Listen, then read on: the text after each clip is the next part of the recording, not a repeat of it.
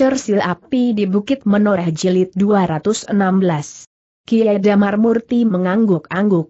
Ia memang melihat bekas-bekas luka itu yang sudah menjadi hampir sembuh dan pulih kembali. Tetapi ketiga muridnya itu sama sekali tidak bersikap bermusuhan dengan ketiga orang yang dikatakannya itu. Karena itu, maka gurunya itu pun berkata, baiklah. Aku tidak akan mengambil sikap sekarang. Aku ingin menemui mereka, baru kemudian aku akan menentukan, apa yang akan aku lakukan. Tetapi aku masih menunggu sampai hari ini pamanmu Putut Wiyantu. Akan lebih baik jika pamanmu Putut Pideksa juga hadir. Ketiga muridnya itu termangu-mangu. Gurunya ingin menemui ketiga orang itu dengan jumlah orang yang sama. Dalam pada itu, maka Kiai Damar Murti menganggap bahwa sudah tidak ada lagi yang akan mereka bicarakan karena itu, maka katanya kemudian beristirahatlah. Rawat luka-luka kalian dengan baik agar tidak menjadi kambuh kembali. Ketiga orang itu pun kemudian telah keluar dari sanggar. Ketika mereka menutup pintu sanggar itu kembali, maka rasa-rasanya dada mereka menjadi lapang.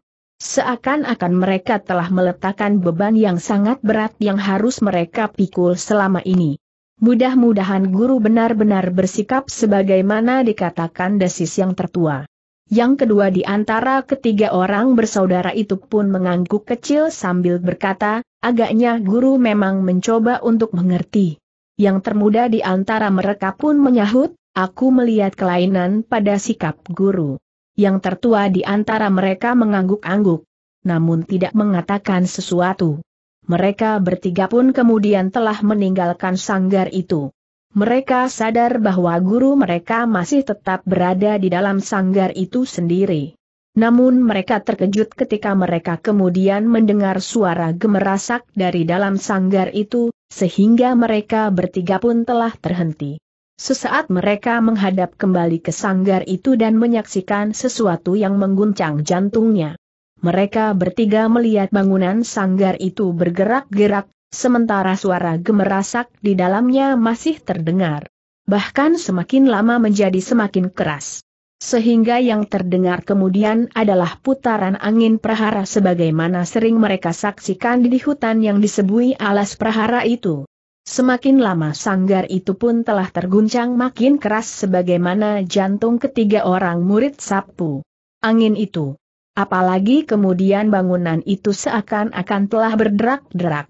Tubuh bangunan itu bagaikan terputar dan batang-batang kayu terdengar berpatahan. Apa yang telah terjadi desis yang termuda? Kedua kakak seperguruannya tidak sempat menjawab. Sanggar yang hampir roboh itu ternyata tidak menjadi roboh tetapi justru terangkat bagaikan terbang. Namun kemudian jatuh terhempas di halaman padepokan itu. Remuk berserakan. Ketiga orang murid sapu angin itu bagaikan membeku. Mereka kemudian melihat guru mereka bangkit dari tempat duduknya. Mengibaskan pakaiannya dan kemudian terbatuk-batuk kecil. Ketiga orang muridnya itu pun segera berlari-lari mendapatkannya. Wajah mereka bertiga menjadi cemas. Tetapi guru mereka itu justru tersenyum sambil bertanya, kenapa kalian menjadi cemas? Ternyata kalian masih tetap tidak yakin akan kemampuanku. Tetapi kami tidak tahu, apa yang sebenarnya telah terjadi guru bertanya murid yang tertua. Kenapa kau menjadi sangat bodoh setelah kau bertemu orang bercambuk itu gurunya ganti bertanya. Ketiga orang murid itu masih saja termangu-mangu. Namun akhirnya mereka pun dapat mengerti apa yang sebenarnya terjadi gurunya sengaja telah mengorbankan sanggarnya untuk menguji kemampuannya dengan ilmu sapu angin. Ternyata Kiai Damar Murti mampu mengguncang, memutar dan menerbangkan bangunan yang cukup besar dan kokoh itu dengan ilmunya yang telah dapat disempurnakannya kembali. Ilmu yang seakan-akan telah terlepas dari perguruan sapu angin namun yang ternyata telah dapat digapainya kembali. Marilah berkata Kiai Damar Murti kemudian, biarlah besok kita membuat sanggar yang baru yang lebih baik dan lebih kokoh dari yang telah roboh itu. Ketiga orang muridnya itu pun kemudian mengikutinya tanpa mengucapkan kata-kata apa pun juga. Namun perasaan kagum masih saja mencengkam jantungnya sehingga terasa degupnya seakan-akan menjadi semakin cepat. Pada saat mereka berdiri di tangga pendapa, mereka melihat para cantrik yang kebingungan berdiri termangu-mangu. Mereka benar-benar tidak tahu apakah yang sebenarnya terjadi. Tidak ada angin dan hujan, apalagi prahara yang kadang-kadang memang berhembus, sanggar itu telah terguncang dan terlempar jatuh beberapa puluh langkah dari tempatnya. Sedangkan pada saat-saat angin berhembus kencang dan pada saat padepokan itu dilintasi angin pusaran, bangunan yang kuat di padepokan itu tidak pernah dirusakannya. Tetapi justru pada saat tidak ada apa-apa, bangunan itu bagaikan diputar oleh keleret tau raksasa. Dalam pada itu, Kiai Damar Murti yang kemudian berdiri menghadap ke arah cantrik itu pun berkata, jangan gelisah. Tidak ada apa-apa. Sanggar itu memang sudah waktunya dicabut dari tempatnya dan kita akan menggantinya yang baru. Yang lebih baik, lebih luas dan lebih kuat. Tetapi kenapa dengan sanggar itu Kiai bertanya seorang cantrik? Kiai Damar Murti justru tertawa. Katanya, sudahlah. Kumpulkan kayu-kayu yang berserakan itu. Kayu-kayu itu dapat kalian pakai untuk memanasi air dan menanak nasi. Besok kita akan mencari kayu yang lebih pantas ke hutan. Hutan yang di sebelah daerah yang sering dilanda prahara. Bukan karena kita takut dihempas angin pusaran di alas prahara, tetapi kayu di daerah hutan yang lebih cenang itu seratnya tentu lebih baik. Tidak melingkar-lingkar dan mudah patah jika dibuat menjadi kerangka bangunan. Para cantrik itu masih saja berdiri bagaikan membeku. Mati mereka yang memandang Kiai Damar Murti menyorotkan kegelisahan yang bergejolak di dalam hati mereka. Namun sekali ia Gigi Damar Murti berkata, sudahlah. Bersihkan halaman itu. Para cantrik yang masih belum jelas persoalannya itu tidak bertanya lebih lanjut. Namun mereka pun segera melakukan perintah Kiai Damar Murti, membersihkan halaman yang penuh dengan pecahan kerangka sanggar yang berserakan. Pada saat yang demikian, dua orang telah memasuki halaman padepokan. Keduanya terkejut melihat kekayuan yang terserak-serak di halaman padepokan itu. Karena itu maka mereka pun segera mendapatkan cantrik yang sedang sibuk membersihkan halaman itu. Apa yang telah terjadi bertanya seorang di antara mereka. Seorang di antara para cantrik itu menggeleng sambil menjawab, kami tidak tahu apa yang sebenarnya terjadi. Yang kami ketahui, Tiba-tiba saja sanggar ini bergerak semakin lama menjadi semakin cepat. Kemudian berguncang keras sekali dan bagaikan diputar oleh angin pusaran. Bahkan kemudian sanggar ini terangkat, dan terhempas di sini. Kedua orang itu menjadi tegang. Ketika kemudian mereka memandang ke pendapa rumah induk padepokan itu dan melihat beberapa orang duduk di sana, maka keduanya pun dengan tergesa-gesa telah menuju ke pendapa tetapi keduanya merasa heran, bahwa mereka melihat wajah Kiai Damar Murti yang cerah. Bahkan dengan suara yang ringan Kiai Damar Murti mempersilahkan, marilah Adi Putut Wiantu dan Butut Pideksa. Aku memang sedang menunggu kalian. Putut Wiantu dan Butut Pideksa yang merasa heran atas sikap Kiai Damar Murti itu pun telah naik pula ke pendapa dan duduk bersama Kiai Damar Murti bersama tiga orang muridnya. Apa yang telah terjadi Kakang bertanya Putut Wiyantu. Kiai Damar Murti tertawa pendek.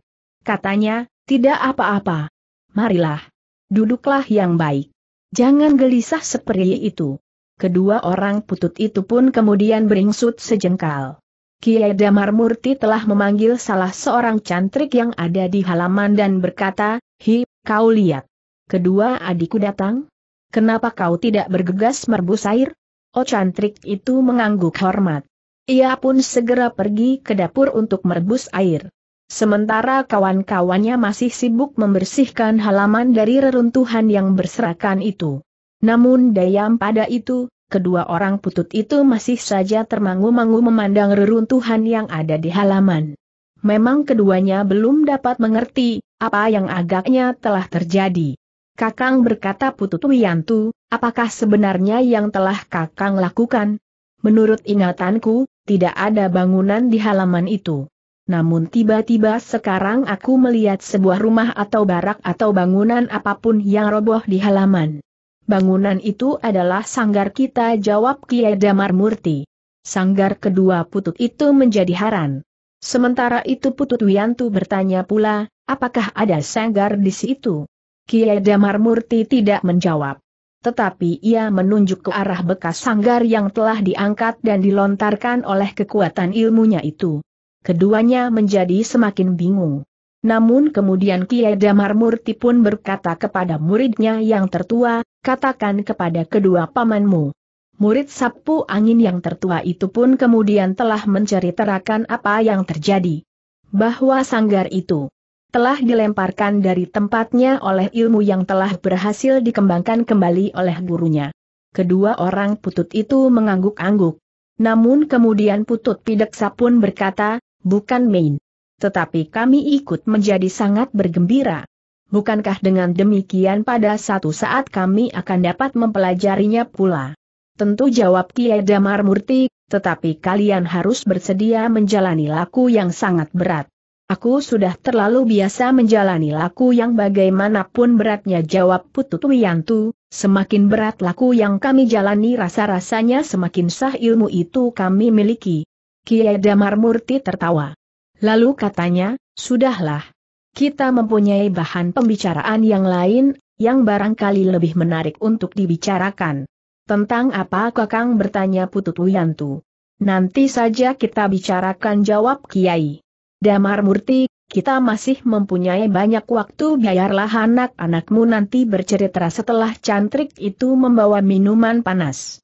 Kedua putut itu menarik nafas dalam-dalam. Sebenarnya bahwa mereka ingin segera mendengar cerita dari murid-murid Kiai Damar Murti. Tetapi keduanya terpaksa menunggu hidangan yang kemudian dihidangnya. Sementara itu Kiai Damar Murtilah yang bertanya tentang perjalanan Putut Wiyantu dan Putut Pideksa. Tidak ada apa-apa jawab Putut Wiyantu, kami menjelajahi daerah yang Kakang maksudkan. Kami tidak menemukan apa-apa. Tetapi bahwa nampak beberapa persiapan memang telah dilakukan. Kiai Damar Murti mengangguk-angguk. Sementara itu maka hidangan pun telah mulai dicicipi. Sambil minum minuman hangat dan mengunyah beberapa potong makanan, maka Kiai Damar Murti pun berkata kepada muridnya yang tertua, Nah, bicaralah tentang perjalananmu. Murid yang tertua dari sapu angin itu pun kemudian menceritakan perjalanan mereka. Usaha mereka menemui beberapa kelompok yang bersedia untuk bekerja bersama. Namun mereka pun kemudian menceritakan bahwa mereka telah terjebak oleh tiga orang yang tidak dikenalnya. Seorang di antaranya adalah orang bercambuk. Orang bercambuk desis putut pideksa, aku pernah mendengarnya. Tentu kau pernah mendengarnya berkata Kiai Damar Murti tetapi sekarang orang-orang itu telah bertemu dengan anak-anakmu. Putut pideksa mengangguk-angguk, sementara itu murid sapu angin tertua itu menceritakan saat-saat yang tegang sehingga seorang di antara mereka terbunuh. Tetapi akhir dari cerita itu lelah membuat Putut Pideksa dan Putut Wiantu kecewa. Dengan nada tinggi Putut Pideksa berkata, jadi kau tinggalkan saudaramu yang terbunuh itu tanpa pembalasan dendam? Sebelum murid tertua itu menjawab, Kiai Damar Murtilah yang menjawab, aku tidak menyalahkannya. Jika mereka berusaha membalas dendam atas kematian saudaranya itu, maka mereka semuanya lah yang akan mati.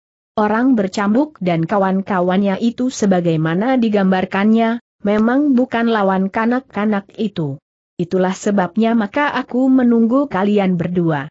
Kita bertiga akan dapat berangkat menuju ke barat untuk mencari ketiga orang itu. Mungkin kita tidak menemukannya. Tetapi biarlah kita akan mencoba karena mereka tidak akan lebih ke timur dari batas bengawan kita itu. Bahkan alas prahara ini pun telah disebutnya sebagai tempat yang terlalu jauh untuk didatangi. Kedua orang putut itu mengangguk-angguk. Bahkan putut pideksa itu pun menggeram, semakin cepat semakin baik kakang. Kita harus menemukan mereka. Tetapi ingat, anak-anakmu itu tidak sekedar membual. Aku percaya apa yang mereka katakan, bahwa ketiga orang itu memang memiliki ilmu yang tinggi berkata Kiai Damar Murti. Kita akan membuktikan berkata Putut Pideksa, memang wajar jika mereka dapat membantai anak-anak. Tetapi jika sempat menemui mereka, maka kitalah yang akan membantai mereka. Apalagi Kakang telah mencapai tataran tertinggi dari perguruan sapu angin ini. Maka, ketiga orang itu agaknya memang bukan apa-apa. Kiai Damar Murti menggeleng. Katanya, jangan lupakan sorot metu yang mampu menghancurkan bagian dalam dada anakmu yang terbunuh itu. Kemampuan dan kecepatan anak-anak bermain pisau memang berbeda dengan kemampuan dan kecepatan kami jawab putut pideksa, pisau-pisau kami akan berjajar menancap di dada orang yang matanya bersinar itu. Kiai Damar Murti tersenyum. Tetapi yang diucapkan kemudian ternyata mengejutkan kedua orang putut dan murid-muridnya. Katanya pisau-pisau itu mungkin akan menancap di dadanya. Itu jika kita harus berkelahi melawan mereka. Putut Wiantu dengan serta-merta bertanya, apakah ada kemungkinan lain, Kakang? Kiai Damar Murti mengangguk. Katanya, ya, ada kemungkinan lain. Mungkin kita memang tidak akan berkelahi dengan mereka. Seorang muridmu telah terbunuh geram Putut Wiantu. Kiai Damar Murti mengangguk. Katanya, seorang muridku memang sudah terbunuh. Tetapi kau dengar kenapa ia terbunuh? Ah, sejak kapan Kakang mulai menilai sebab dari perkelahian yang terjadi antara anak-anak sapu angin dengan orang lain bertanya Putut Pideksa. Sejak aku menghadapi satu kenyataan, bahwa ternyata ketiga muridku itu tidak dibunuh. Ketiga muridku itu sudah pasrah tanpa mampu melawan. Dua orang terluka, seorang kehilangan tenaganya mutlak.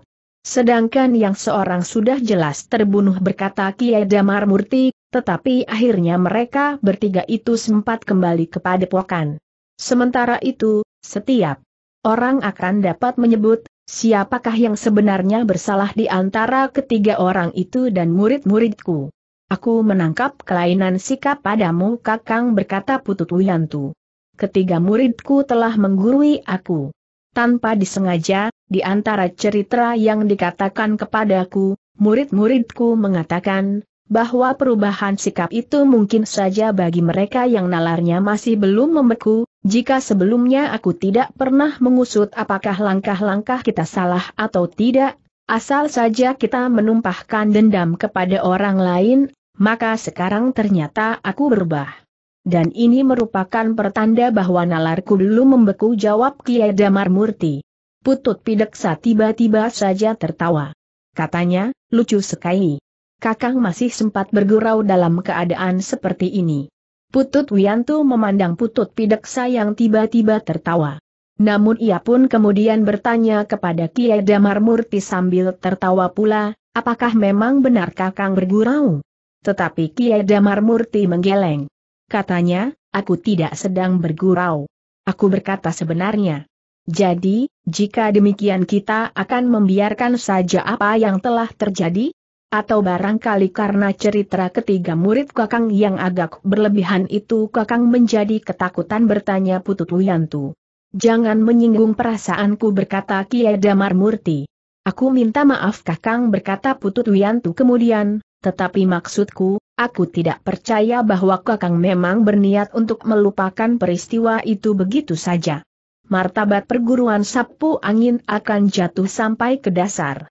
Apa kata perguruan agaraga, Watu Gulung, Sabta Sada dan perguruan-perguruan yang baru lahir kemudian? Sapu angin adalah sebuah perguruan yang sudah tua, yang seharusnya mampu mempertahankan martabatnya. Kita tidak tahu, Tiga orang itu dari perguruan yang mana yang sekarang hadir di dalam percaturan dunia olah kanuragan. Orang bercambuk itu mungkin merupakan sisa-sisa dari perguruan yang sudah tua pula. Sorot metu yang memancar itu sudah lama tidak ditemui dalam perguruan-perguruan yang mana pun juga, sehingga kekuatannya pun agaknya tidak perlu dicemaskan yang hanya dapat membunuh anak-anak. Permainan api itu pun tidak menarik sama sekali. Dalam pertempuran yang terjadi kemudian, orang itu sama sekali tidak mampu mempergunakan apinya. Justru ia mempergunakan ikat kepalanya yang menjadi saluran tenaga cadangannya. Bukankah begitu menurut cerita yang aku tangkap? Ya desis murid sapu angin yang tertua hampir di luar sadarnya. Memang demikian desis Kiai Damar Murti, tetapi kita tidak boleh menutup mata penglihatan batin kita atas apa yang terjadi. Dan aku menangkapnya sebagai satu peristiwa yang memang mungkin dapat direnungkan dan dapat menjadi sebab perubahan penalaran kita menghadapi satu peristiwa. Kedua putut itu nampak menjadi kecewa dan kekecewaan itu tertangkap oleh penglihatan Kiai Damar Murti. Karena itu maka ia pun kemudian berkata, tetapi sikapku belum merupakan keputusan terakhir. Aku memang ingin bertemu dengan mereka jika kita kelak dapat mencarinya. Baru kemudian aku akan menentukan sikap. Putut Wiantu dan Putut Pideksa saling berpandangan sejenak. Namun keduanya pun kemudian mengangguk-angguk. Masih banyak kemungkinan dapat terjadi. Bahkan kemungkinan yang paling tidak diharapkan. Yaitu jika mereka pun menjadi berubah sikap pula seperti Kiai Damar Murti. Aku bukan orang yang berhati lemah seperti Kakang Damar Murti berkata Putut Wiantu di dalam hatinya. Sementara itu Putut Pideksa berbicara kepada dirinya sendiri Kakang Damar Murti harus menyadari kekeliruannya. Perguruan sapu angin yang selama ini berdiri sejajar dengan perguruan-perguruan lain, akan dapat hancur namanya karena orang-orang tidak bernama itu. Namun mereka tidak segera mengatakannya. Mereka memang masih harus menunggu apa yang akan dilakukan oleh Kiai Damar Murti kelak jika ketiga orang itu benar-benar dapat dijumpai di mana pun juga. Dalam pada itu, para cantrik masih saja sibuk dengan sanggar yang rusak itu. Sementara Kiai Damar Murti berkata kepada kedua putut itu, Hari ini dan besok aku masih harus menemukan pohon kayu yang paling baik untuk mengganti sanggarku yang rusak. Kedua orang putut itu termangu-mangu. Namun putut pideksa itu pun kemudian berkata, jika demikian kapan kita akan pergi? Apakah kita memang menunggu orang-orang itu pergi, sehingga kita tidak akan dapat bertemu dengan mereka? Kiai Damar Murti mengerutkan keningnya. Kemudian katanya, kalian telah berubah menjadi garang. Tidak jawab Putut Wiyantu, kakanglah yang sudah berubah menjadi terlalu lembut. Kiai Damar Murti tertawa. Lalu katanya, sudahlah. Beristirahatlah nanti kita pergi ke hutan bersama beberapa orang cantrik. Betapapun kecewanya, kedua putut itu tidak dapat berbuat apa-apa. Mereka pun kemudian meninggalkan pendapat itu bersama ketiga orang murid Kiai Damar Murti itu. Sedangkan Kiai Damar Murti sendiri telah turun ke halaman dan memanggil beberapa orang cantrik agar bersiap-siap untuk pergi ke hutan mencari kayu yang paling baik untuk membangun sanggar. Kedua putut yang beristirahat di belakang itu sempat berbicara kepada murid-murid sapu angin. Dengan nada rendah Putut Wiantu bertanya, kenapa dengan gurumu? Pada saat ia menemukan, kekuatannya yang utuh ia justru menjadi lemah. Murid tertua di antara ketiga orang saudara seperguruannya itu menarik nafas dalam-dalam. Ia sadar, bahwa gurunya telah mendengarkan laporan dan bahkan pendapatnya. Karena itu, murid sapu angin itu sulit untuk memberikan keterangan. Karena murid Kiai Damar Murti itu tidak segera menjawab, maka Putut Wiantu itu berkata, baiklah. Kalian memang sudah berubah. Tetapi jika kita berhasil menemukan ketiga orang itu, mungkin Kakang Damar Murti akan menemukan dirinya kembali. Ketiga murid sapu angin itu masih tetap berdiam diri. Dengan demikian, maka kewajiban kita sekarang adalah menunggu Kakang Damar Murti setelah ia menemukan kekayuan yang dikehendaki itu berkata Putut Pideksa. Putut Wiantu mengangguk-angguk. Sementara itu mereka pun segera pergi ke bilik yang sudah disediakan bagi mereka untuk menyimpan dan berganti pakaian. Meletakkan tudung kepala yang lebar dan menggantungkan senjata di dinding.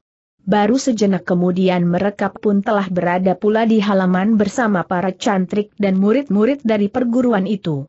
Dalam pada itu, di tempat lain yang jauh, dua orang anak muda sedang duduk di atas sebongkah batu karang.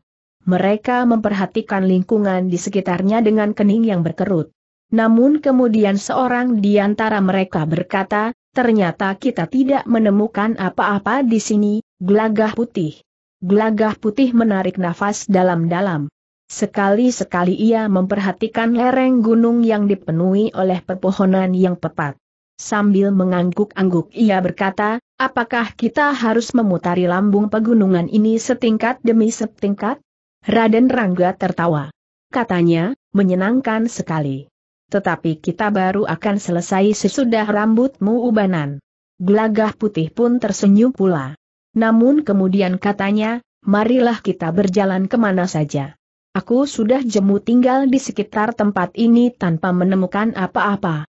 Keduanya pun kemudian, mulai bergerak. Mereka melangkah menyusup hutan yang tidak rata. Sebagian lebat pepat, namun ada bagian-bagian yang sedikit terbuka. Meskipun juga ditumbuhi oleh pepohonan perdu. Namun ada juga yang terbuka sama sekali. Yang ada hanyalah batu-batu padas yang gundul. Namun daerah yang terbuka sama sekali itu tidak begitu luas dibandingkan dengan hutan-hutan yang lebat. Kedua anak muda itu telah melanjutkan perjalanannya. Mereka menyusuri setiap jalur yang yang disangkanya setapak. Namun mereka tidak pernah menemukan sesuatu. Beberapa ratus tonggak di bawah mereka nampak padukuhan-padukuhan dikelilingi oleh persawahan yang hijau. Daerah yang pernah dijelajahinya sebelumnya namun mereka tidak menjumpai sebuah padepokan pun. Sementara itu, agaknya orang-orang padukuhan itu tidak ada pula yang tahu atau merasa takut untuk memberikan keterangan tentang padepokan Nagaraga. Ketika kedua anak muda itu sudah menjadi jemu dan hampir saja mereka meninggalkan tempat itu untuk mencarinya di tempat lain, maka tiba-tiba keduanya melihat sesuatu yang menarik perhatian. Gelagah putih berkata Raden Rangga, kau lihat itu. Gelagah putih mengangguk. Katanya, seakan-akan sesuatu telah melanda tempat itu. Tetapi tentu sudah terjadi dalam waktu yang lama berkata Raden Rangga. Marilah, kita lihat berkata gelagah putih. Raden Rangga mengangguk. Katanya, kita ikuti jalur itu. Agaknya memang sangat menarik. Kedua anak muda itu pun kemudian mengikuti sebuah jalur yang bagi mereka sangat menarik. Seakan-akan sebuah jalur yang menyibakkan pepohonan hutan, tetapi bekas itu masih nampak jelas. Melalui jalan yang sangat sulit, keduanya bergerak menuruni lereng. Keduanya merayap dengan lambat sekali. Kadang-kadang mereka harus merangkak. Namun kadang-kadang mereka harus memanjat dan meniti batang-batang kayu yang roboh.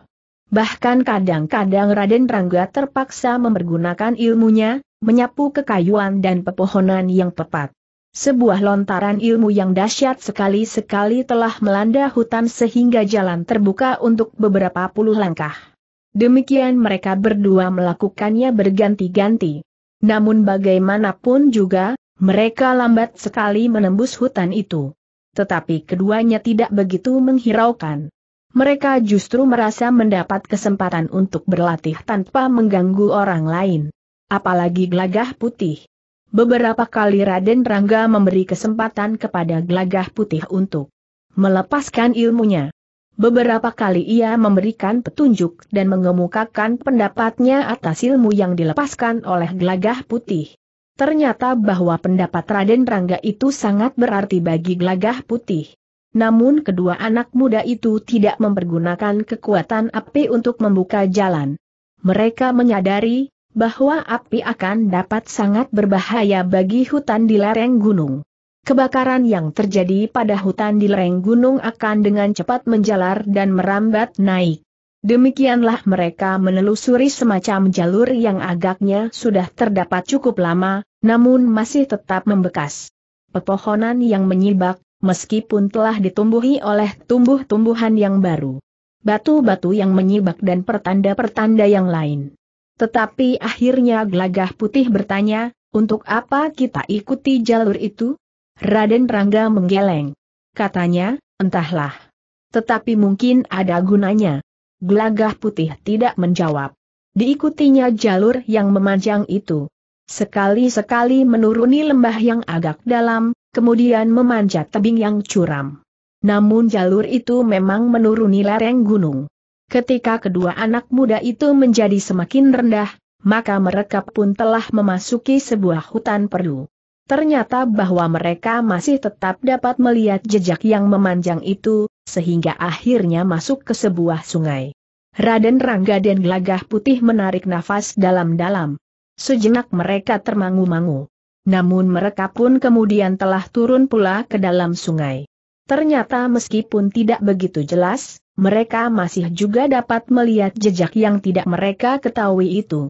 Ketika kedua anak muda itu bertemu dengan seorang tua yang sedang sibuk menebarkan jala di sebuah gedung kecil di sungai itu, maka keduanya pun telah mendekatinya. Kakek bertanya Raden Rangga, apakah kakek dapat menceritakan kepada kami, jejak yang menuruni lereng gunung itu dan yang kemudian menuruni sungai itu, Apakah jejak arus air atau jejak batu raksasa yang berguling atau jejak apa? Orang tua itu mengerutkan keningnya. Dengan heran ia bertanya, dan mana anak-anak muda mengetahui tentang jejak itu? Kami mengikutinya dari lereng Gunung Kek jawab Raden Rangga. Ah, jangan bergurau berkata orang tua, mana mungkin seseorang pernah memanjat lereng gunung itu. Raden Rangga dan Gelagah Putih saling berpandangan. Tetapi pendapat orang itu memang tidak aneh. Jalan yang pernah mereka lalui memang sangat rumpil dan sulit. Hanya orang-orang yang agaknya tidak mempunyai pekerjaan sajalah yang sempat dan mencoba untuk naik. Namun dalam pada itu, Raden Rangga pun kemudian tersenyum kepada orang tua itu sambil bertanya, kakek, apakah lereng itu memang tidak pernah disentuh oleh kaki seseorang? Seingatku tidak enggar jawab orang tua itu. Raden Rangga menarik nafas dalam-dalam. Setelah ia bersama gelagah putih menjelajahi daerah yang sangat luas, namun mereka masih belum menemukan apa yang mereka cari. Gelagah putih pun agaknya berpikir seperti itu pula. Bahkan ia pun kemudian berdesis, Raden. Satu perjalanan yang sia-sia. Gunung itu tidak pernah didaki oleh seorang pun. Namun Raden Rangga masih juga bertanya, jadi, bekas apakah yang mirip dengan sebuah saluran yang menyibak pepohonan dan bebatuan itu kek?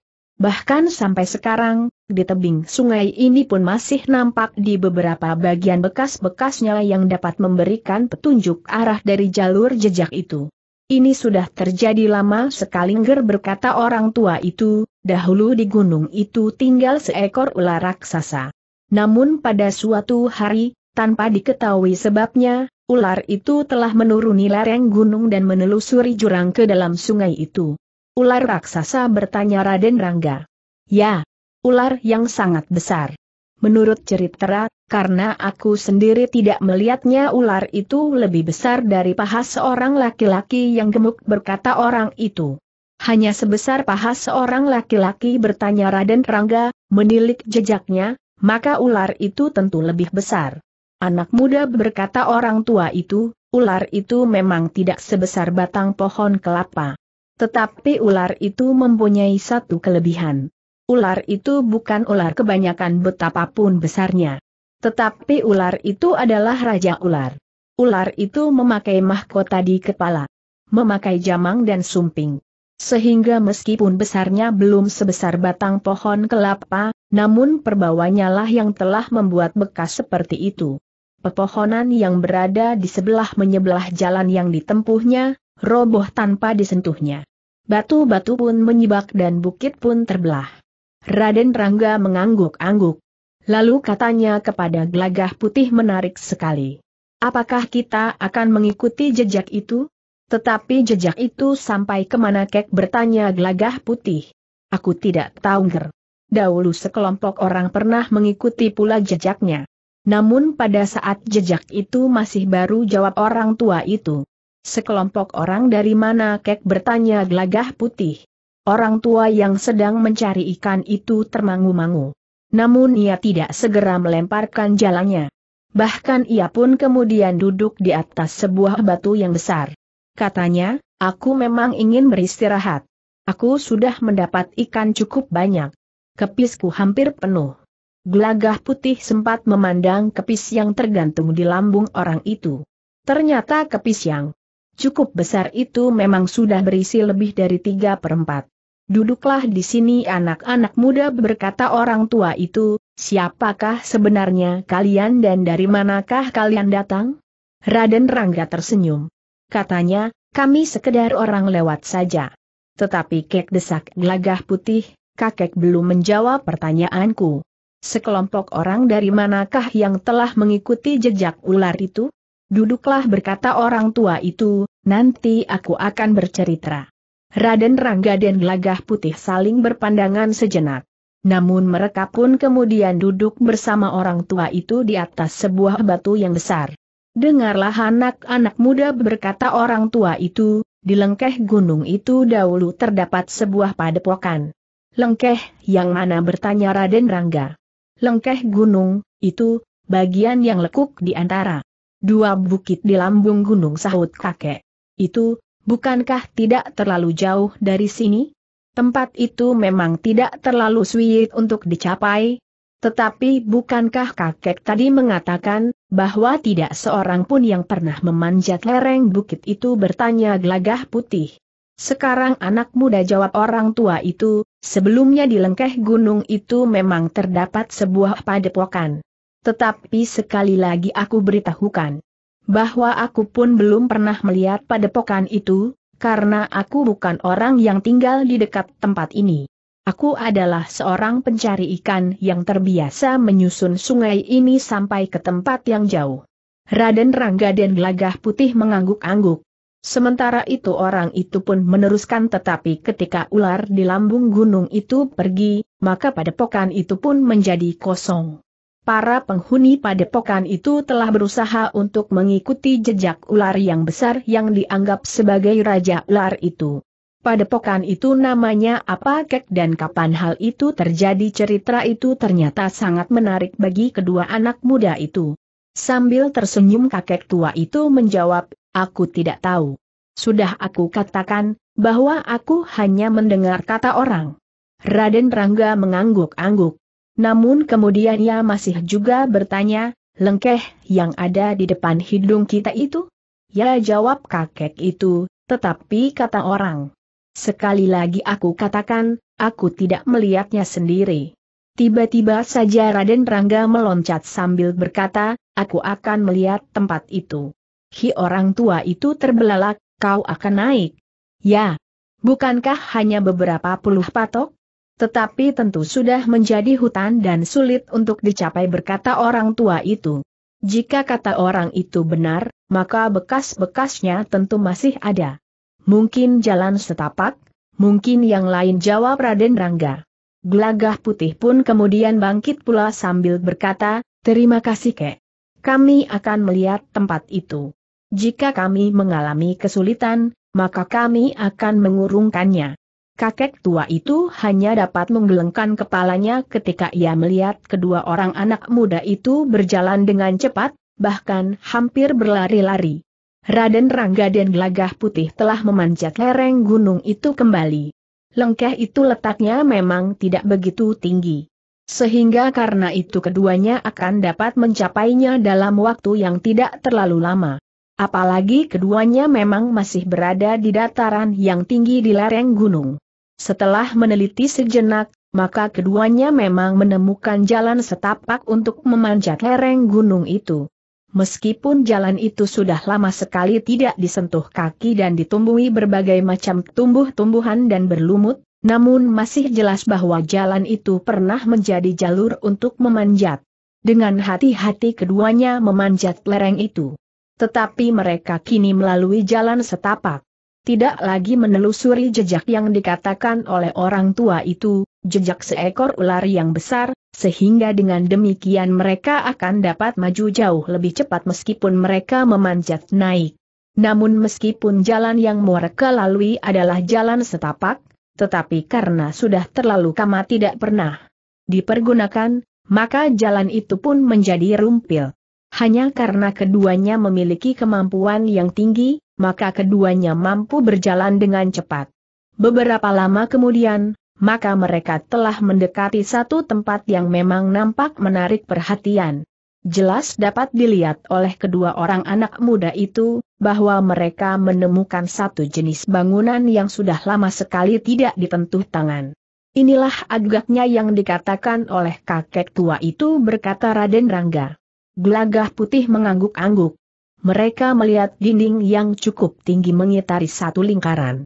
Dari bekas pintu regol yang sudah rusak, mereka dapat melihat kedalamannya. Bangunan-bangunan yang sudah rusak dan sama sekali tidak terawat. Hanya dinding yang terbuat dari batu itu sajalah yang masih kelihatan wujudnya. Kedua orang anak muda itu termangu-mangu. Namun akhirnya keduanya pun telah memasuki pintu gerbang yang sudah rusak itu untuk melihat-lihat keadaan di dalamnya. Keduanya tertegun ketika keduanya melihat seekor ular sebesar lengan menelusur dan menghilang ke dalam semak-semak. Di sini banyak sekali ular agaknya berkata Kaden Rangga. Namun keduanya tidak lagi merasa begitu takut kepada ular, karena mereka masing-masing mempunyai penawar bisa yang akan dapat melindungi mereka dari gigitan binatang itu. Dengan hati-hati keduanya berjalan di halaman yang cukup luas dan licin. Beberapa jenis pohon buah-buahan masih terdapat di halaman. Namun agaknya pepohonan itu sudah cukup tua. Raden Rangga yang kemudian berdiri di halaman sambil bertolak pinggang itu pun mengangguk-angguk kecil. Dengan suara rendah ia berkata, tentu bekas sebuah padepokan. Satu-satunya tempat yang kita temukan di daerah yang luas yang sudah kita jelajahi. Ya, tetapi kita tidak dapat menyebutnya lagi. Bekas padepokan apa yang kita ketemukan ini jawab gelagah putih. Kedua orang itu termangu-mangu. Namun kemudian Raden Rangga pun berkata, marilah. Kita masuki tempat itu. Tetapi tempat itu adalah tempat yang berbahaya. Mungkin bukan karena penghuninya, tetapi bangunan itu setiap saat akan dapat roboh menimpa kita. Gelagah putih mengangguk. Katanya, marilah Raden mungkin ada sesuatu yang menarik. Kedua orang anak muda itu pun kemudian dengan sangat berhati-hati memasuki barak utama daripada pokan itu. Masih berdiri tegak pendapa dan peringgitan serta bagaikan tengah rumah yang besar itu. Namun atapnya sebagian sudah rusak. Sekali lagi mereka terkejut melihat seekor ular yang besar menggeliat dan menelusur pergi menghilang di antara tiang-tiang rumah yang masih tegak itu.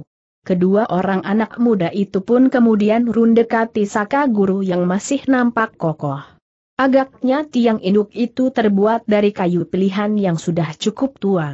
Beberapa saat mereka memperhatikan kayu yang sudah menjadi hijau oleh lumut yang tumbuh dan melekat pada tiang-tiang itu.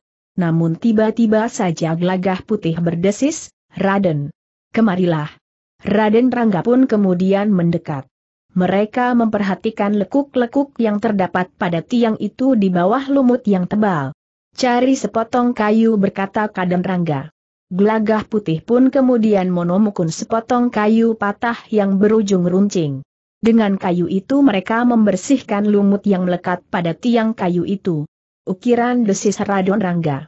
Lukisan yang terpahat dengan ukiran pada tiang itu telah membentuk wujud seekor ular yang melingkar. Namun pada kepalanya nampak mahkota serta mengenakan jamang dan sumping. Kedua anak muda itu menjadi semakin tertarik kepada ukiran itu. Semakin bersih mereka menghilangkan lumut yang melekat pada kayu itu, semakin jelaslah wujud seekor ular naga. Naga raga tiba-tiba saja Raden Rangga berdesis. Ya Raden, ini adalah padepokan yang kita cari. Sahut gelagah putih. Keduanya menarik nafas dalam-dalam. Namun kemudian Raden Rangga berkata dengan nada rendah kita datang terlambat. Gelagah putih mengangguk-angguk. Katanya, tetapi menurut kakek yang sedang mencari ikan itu, sekelompok orang pernah mengikuti arah seekor ular raksasa yang bermahkota dan mengenakan jamang dan sumping. Raden Rangga mengangguk-angguk pula. Katanya, mungkin sekali pada Pokan Nagaraga telah pindah. Tetapi aku kira perguruan itu masih ada.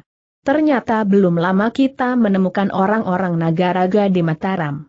Meskipun aku yakin, bahwa tidak semua orang yang berada di Mataram bersama kekuatan yang berusaha langsung membunuh ayahanda adalah seluruhnya orang Nagaraga. Bagaimana pendapat Raden Rangga bertanya gelagah putih. Raden Rangga termangu-mangu sejenak. Namun kemudian katanya, kita coba mengikuti jejak ular itu. Mungkin akan membawa kita mendekati perguruan Nagaraga yang sekarang. Mungkin sebagaimana dikatakan oleh kakek yang mencari ikan itu bahwa orang-orang Nagaraga telah memindahkan padepokannya mengikuti ular yang berpindah tempat itu. Aku sependapat Raden. Kita akan pergi menyusuri jejak ular itu sahut gelagah putih. Demikianlah keduanya pun kemudian telah mengikuti jalan setapak menuruni lengkeh gunung itu, sebagaimana jalan yang mereka panjat saat mereka naik. Ketika mereka menuruni sungai dan mengikuti alirannya sampai ke gedung kecil, maka kakek yang sedang mencari ikan dengan jala itu sudah tidak ada lagi. Kenapa kakek itu bertanya Raden Rangga? Agaknya kepisnya telah penuh dengan ikan jawab gelagah putih. Namun ketika mereka berdua menengadahkan kepalanya, maka mereka melihat bahwa matahari memang sudah menjadi sangat rendah. Ternyata mereka telah melampaui waktu yang cukup panjang. Kita harus mencari tempat untuk bermalam berkata Raden Rangga.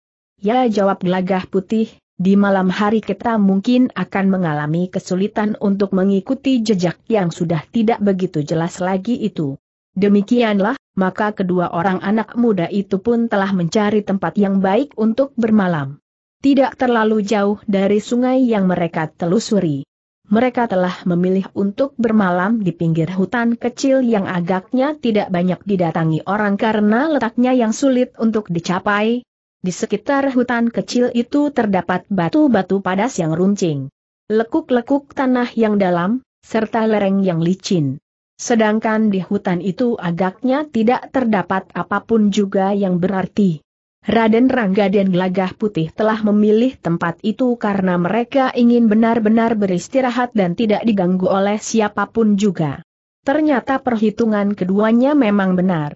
Keduanya dapat tidur di atas dahan sebatang pohon yang besar. Bagaimanapun juga mereka tidak mau diganggu oleh seekor harimau.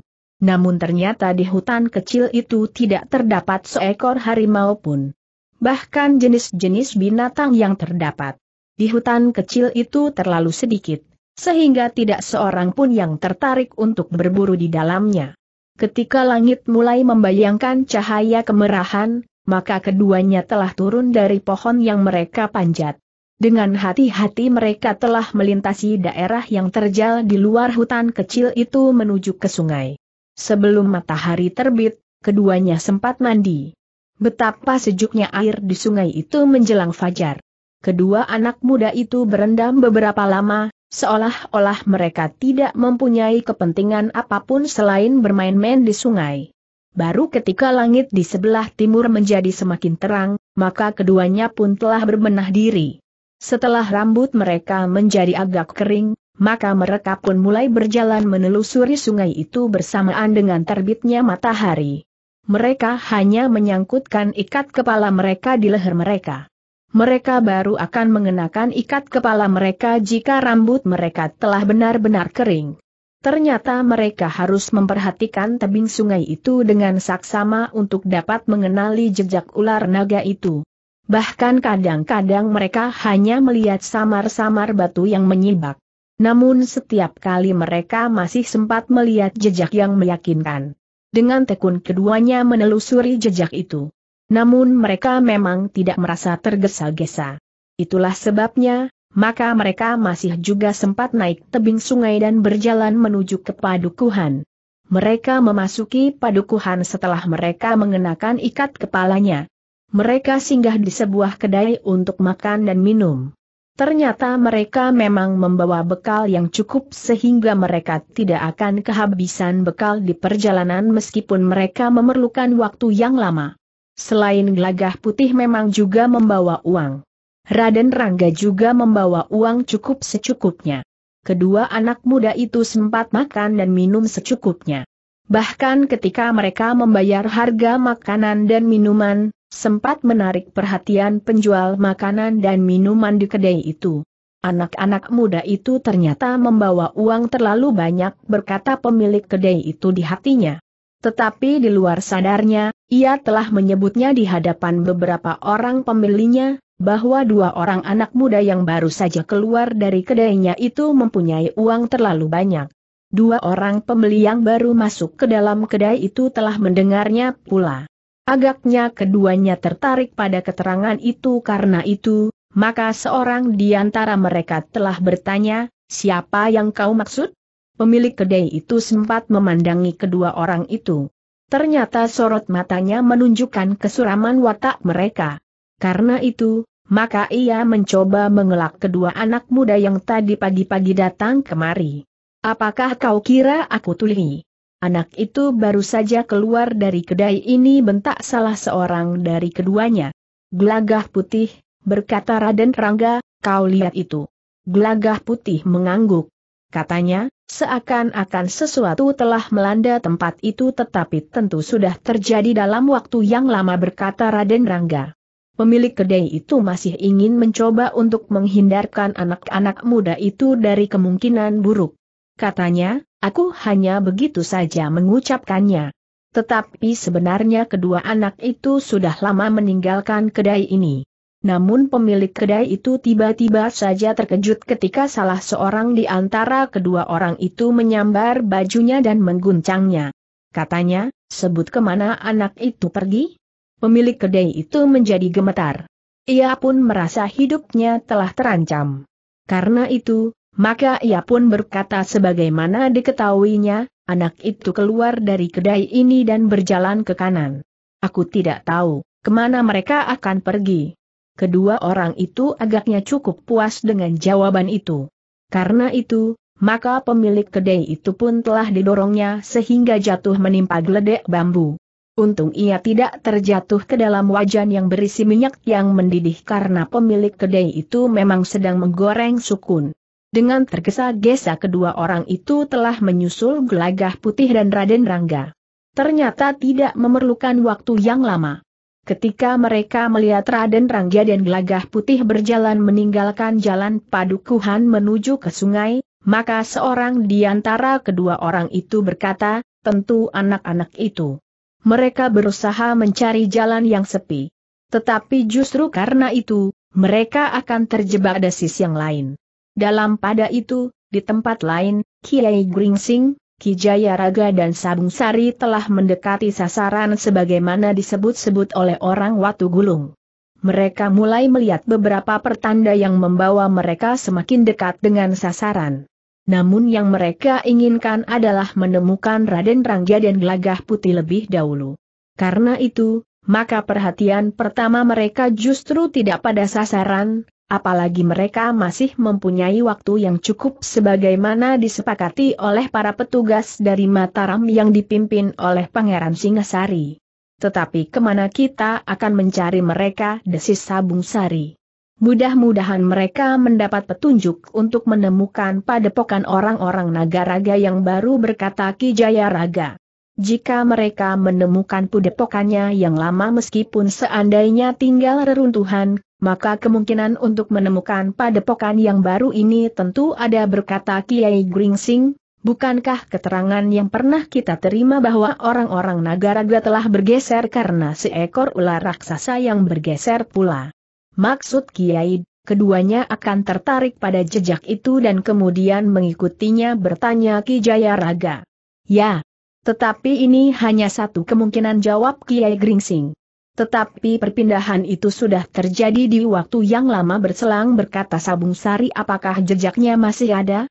Kiai Gringsing mengangguk-angguk. Jawabnya, jejak itu mungkin telah terhapus. Jika masih ada, tentu sudah sulit dapat ditelusuri. Ki Jayaraga mengangguk-angguk pula. Namun ia pun berkata, seandainya jejak itu masih ada, di mana kira-kira kita dapat menemukannya? Ular naga itu telah menelusuri kali lanang. Apakah kita ingin melihatnya? Waktu kita masih panjang berkata Sabung Sari. Kita akan mencobanya berkata Kiai Gringsing, syukurlah jika masih kita temui betapapun tipisnya jejak ular naga itu. Kita akan dapat berharap bahwa kedua anak muda itu akan dapat melihatnya pula. Jika tidak, apa boleh buat? Mungkin kita dapat menelusuri kali lanang, karena menurut keterangan yang kita dengar ular itu telah menelusuri kali lanang. Hanya tidak jelas bagi kita, di mana ular nagat itu mulai turun ke sungai dan di mana ular itu naik berkata Sabung Sari. Kita akan melihat. Satu-satunya jalan untuk mendekatkan pada kemungkinan bertemu dengan kedua orang anak muda itu berkata Kiai Gringsing. Demikianlah maka mereka bertiga telah menuju ke Kali Lanang. Mereka menuruni tebing yang rendah dan kemudian berjalan menelusuri sungai itu. Mereka memang tidak segera menemukan jejak seekor ular naga.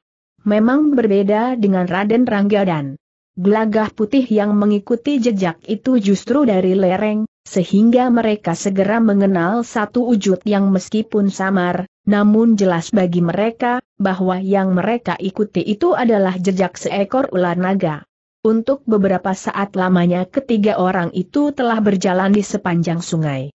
Dengan ketajaman penglihatan seorang pengembara mereka berusaha menemukan sesuatu yang mungkin dapat mereka tarik kepada satu kesimpulan, bahwa ular naga itu memang telah menelusuri sungai itu.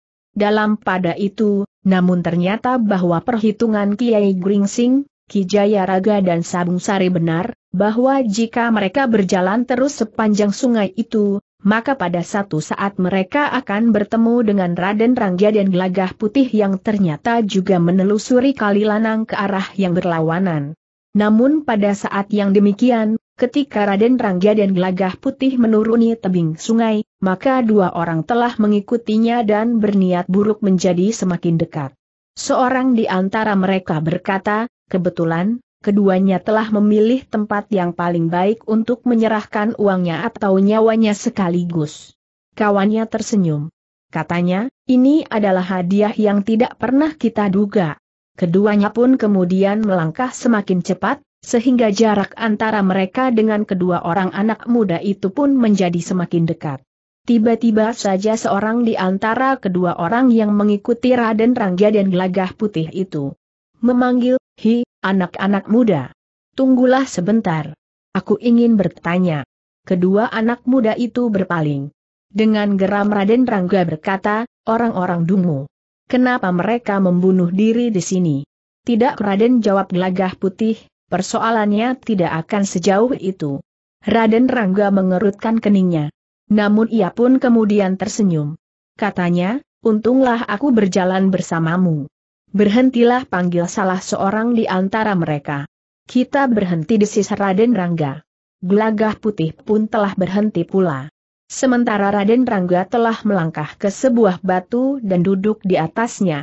Namun gelagah putih menjadi berdebar-debar ketika ia melihat Raden Rangga menarik tongkat pringgadingnya yang terselip di punggung. Untuk apa Raden? Bertanya gelagah putih. Raden Rangga mengerutkan keningnya. Tetapi ia pun kemudian tersenyum sambil berkata, kenapa kau terlalu cemas?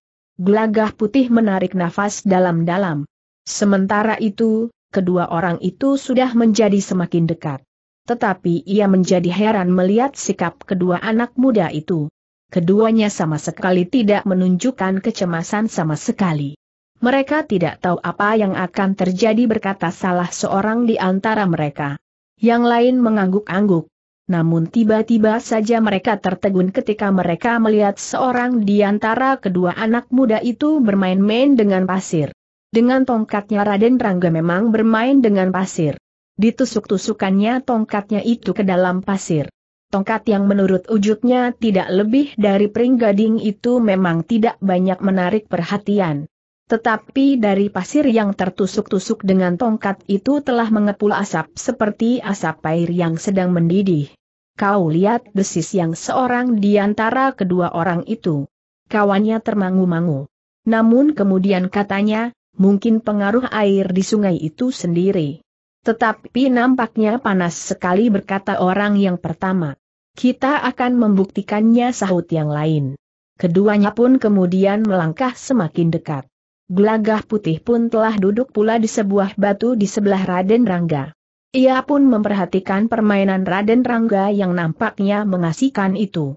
Ketika kedua orang itu sudah berdiri beberapa langkah daripadanya, maka tiba-tiba saja seorang di antaranya bertanya, apa yang kalian lakukan di sini anak-anak muda?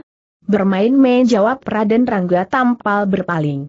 Bermain-main apa bentak seorang yang lain. Raden Rangga tiba-tiba saja meloncat turun dari atas batu sambil berkata, lihat, di sini ada sumber panas. Sebelum kedua orang itu menyahut, Raden Rangga telah mengibaskan ujung tongkatnya. Tidak ke dalam air, tetapi ke atas pasir tepian sehingga sejemput pasir telah menghambur ke arah kedua orang itu. Ketika pasir itu kemudian menyentuh tubuh kedua orang itu, maka mereka pun di luar sadarnya telah meloncat surut. Ternyata pasir lembut itu bagaikan pecahan bara yang mengenai tubuh mereka. Panas sekali. Gila geram seorang di antara mereka, kau mencoba mempermainkan kami hi. Tidak jawab Raden Rungga, aku hanya ingin menunjukkan kepadamu, bahwa di sini ada sumber panas. Pasir itu telah dipanasinya. Tetapi kenapa kau hamburkan ke arah kami yang lain hampir berteriak? Tidak apa-apa. Kami hanya ingin membuktikan bahwa pasir itu panas.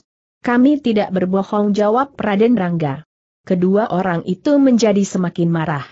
Karena itu, seorang di antara mereka tiba-tiba saja berkata, anak-anak muda, jangan bermain-main seperti itu. Perbuatanmu dapat mengganggu bahkan menyakiti orang lain. Raden Rangga mengangguk-angguk. Jawabnya, baiklah kisanak. Kami tidak akan bermain-main lagi dengan pasir.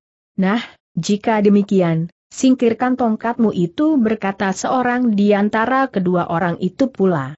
Kenapa? Bukankah tongkatku tidak mengganggumu jawab Raden Rangga. Namun agaknya yang seorang tidak sabar lagi. Karena itu maka katanya kasar, cukup dengan tingkah lakumu yang gila itu. Kami datang untuk minta uangmu. Itu saja. Raden Rangga berdiri tegak sambil memandang orang itu dengan tajamnya. Namun kemudian katanya, Aku memang mempunyai uang banyak.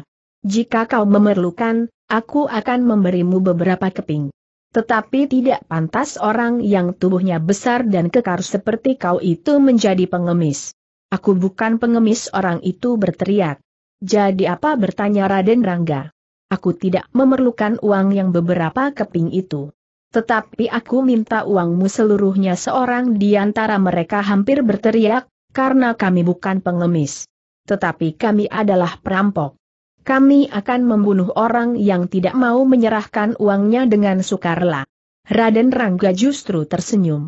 Katanya, kau memang nampak garang dengan caramu berbicara. Tetapi ketahuilah, bahwa aku tidak akan menyerahkan apa-apa. Kecuali jika kau mengaku menjadi pengemis. Dan aku akan menyerahkan uang menurut kehendakku sendiri. Gila geram orang yang lain sambil menarik senjatanya. Sebuah parang pendek. Namun tajamnya bukan main, sehingga daun parang itu nampak berkilat-kilat memantulkan cahaya matahari. Sekali sentuh, lehermu akan putus geram orang itu. Sementara itu yang lain pun telah menarik senjata yang serupa pula. Katanya, jangan memaksa kami memenggal leher kalian. Tetapi Raden Rangga justru tertawa. Katanya, kalian ini aneh-aneh saja. Pagi-pagi kalian sudah sempat bergurau. Aku tidak bergurau bentak orang itu, berikan semua uangmu. Ah, jangan begitu. Raden Rangga masih tertawa. Kedua orang itu menjadi marah. Tetapi ketika keduanya akan melangkah maju, Raden Rangga telah meletakkan ujung tongkatnya di atas pasir tepian. Katanya, kami dapat membakar kalian dengan pasir ini. Keduanya memang tertegun. Sejenak mereka berpandangan. Namun keduanya pun tiba-tiba telah berpencar. Seorang di antara mereka berkata, kami akan mendekati kalian dari dua arah. Raden Rangga tertawa semakin keras. Katanya, semakin bernafsu kalian atas uang kami, maka pasir ini akan menjadi semakin panas, sehingga akhirnya kalian benar-benar akan menjadi arang. Apalagi jika kami berdua sudah menjadi marah. Kami akan menangkap kalian dan membenamkan kalian di dalam pasir punas ini. Kedua orang itu memang terkejut mendengar kata-kata Raden Rangga. Namun selagi mereka ragu-ragu, gelagah putih berkata, Sudahlah. Pergilah. Jangan lakukan care seperti ini untuk mencari uang. Bukankah banyak care dapat ditempuh? Care yang baik dan wajar. Kedua orang itu termangu-mangu. Namun yang seorang tiba-tiba telah membentak, berikan uangmu. Belum lagi mulut orang itu terkatup. Raden Rangga telah melakukan sesuatu yang membuat bulu tengkuk kedua orang itu berdiri. Raden Rangga yang berdiri dengan tongkat di tangannya itu, tiba-tiba telah meloncat dan mengayunkan tongkat ke sebuah batu yang cukup besar. Dengan kekuatan ilmunya maka Raden Rangga telah memecahkan batu itu menjadi berkeping-keping. Kedua orang itu benar-benar terkejut melihat bagaimana tongkat anak muda itu mampu memecahkan batu. Apalagi sambil tertawa seakan-akan tanpa pemusatan nalar budi untuk mengerahkan ilmu yang ada padanya, anak muda itu berkata, Nah, kepala siapa yang akan aku pecahkan lebih dahulu? Kalian tentu tahu bahwa batu itu tentu lebih keras dari kepalamu. Kedua orang itu memang menjadi gemetar, sementara anak muda yang membawa tongkat pringgading itu berkata, Nah, kita akan mendapat bagian seorang satu. Aku memecahkan kepala orang yang agak pendek, kau boleh memilih yang lebih tinggi. Jangan tiba-tiba orang yang lebih pendek dan menggenggam parang di tangannya itu menjadi gemetar, jangan bunuh kami. Aku tidak akan membunuhmu. Aku hanya akan memecahkan kepalamu. Jika karena itu kau akan mati, itu bukan salahku. Ampun, kami mohon ampun orang yang berwajah garang itu tiba-tiba hampir menangis. Raden Raga masih tertawa. Lalu katanya sambil mengangkat tongkatnya, kau belum yakin bahwa aku dapat memecahkan kepalamu. Ya, ya. Aku yakin jawab orang itu. Raden Raga menurunkan tongkatnya sambil berkata, pergilah. Tetapi ingat, sekali lagi kami bertemu dengan kalian dan kalian masih melakukan langkah serupa, maka kami tidak akan mengampuni kalian. Kami benar-benar akan memecahkan kepala kalian. Kedua orang itu saling berpandangan. Mereka sudah terlanjur berdiri di tempat yang terpisah karena mereka akan menyerang anak-anak muda itu dari arah yang berbeda. Namun kemudian keduanya telah beringsut menjauh. Kami mohon maaf berkata yang seorang. Jangan hanya di bibir. Aku akan tetap berkeliaran di daerah ini berkata Raden Rangga. Tidak. Tidak hanya di bibir. Kami benar-benar tidak melakukan lagi berkata kedua orang itu hampir bersamaan. Pergilah bersis Raden Rangga. Kedua orang itu pun telah menyarungkan parang mereka. Dengan kaki yang agak gemetar keduanya melangkah meninggalkan anak-anak muda itu. Rasa-rasanya pasir tepian itu telah memberati kaki mereka, sehingga langkah mereka pun menjadi terasa sangat berat. Beberapa langkah dari kedua anak muda itu, orang yang lebih tinggi itu berkata, ternyata kita telah bertemu dengan penunggu sungai ini. Kawannya menarik nafas dalam-dalam. Katanya, marilah, kita melupakan mimpi buruk ini. Melupakan bertanya yang seorang, apakah kita akan menganggap bahwa yang terjadi ini hanya sebagai mimpi yang dapat kita lupakan begitu saja? Sementara itu kita terikat pada janji, bahwa kita akan menghentikan perbuatan kita ini. Kawannya termangu-mangu. Namun ia pun berdesis sambil berpaling, apakah kita akan menepati janji? Yang seorang pun berpaling mereka masih melihat kedua anak muda itu. Sambil menarik nafas dalam-dalam ia pun berkata, apakah kita masih mempunyai kesempatan untuk melanggar janji kita? Kawannya hanya dapat menarik nafas dalam-dalam. Tetapi ia tidak menjawab. Namun keduanya berjalan semakin lama semakin jauh menelusuri sungai itu ke arah yang berlawanan dengan yang kemudian ditempuh oleh Raden Rangga dan Gelagah Putih. Untuk beberapa saat Raden Rangga dan Gelagah Putih masih berada di tempat itu. Namun ketika kedua orang yang ingin merampas suangnya itu sudah berjalan semakin jauh, maka Raden Rangga pun berkata, orang-orang yang demikianlah yang mudah dihasut untuk tujuan yang tidak jelas. Ya jawab Gelagah Putih, namun setidak-tidaknya Raden telah berhasil menakut-nakuti orang itu. Raden Rangga tertawa. Katanya, Kau sangka bahwa mereka akan benar-benar takut. Ketika mereka tidak melihat kita lagi, maka mereka akan segera mengulangi perbuatannya. Mudah-mudahan tidak jawab gelagah putih. Raden Rangga tersenyum. Namun kemudian katanya, marilah. Kita akan meneruskan perjalanan. Kita akan menelusuri sungai ini.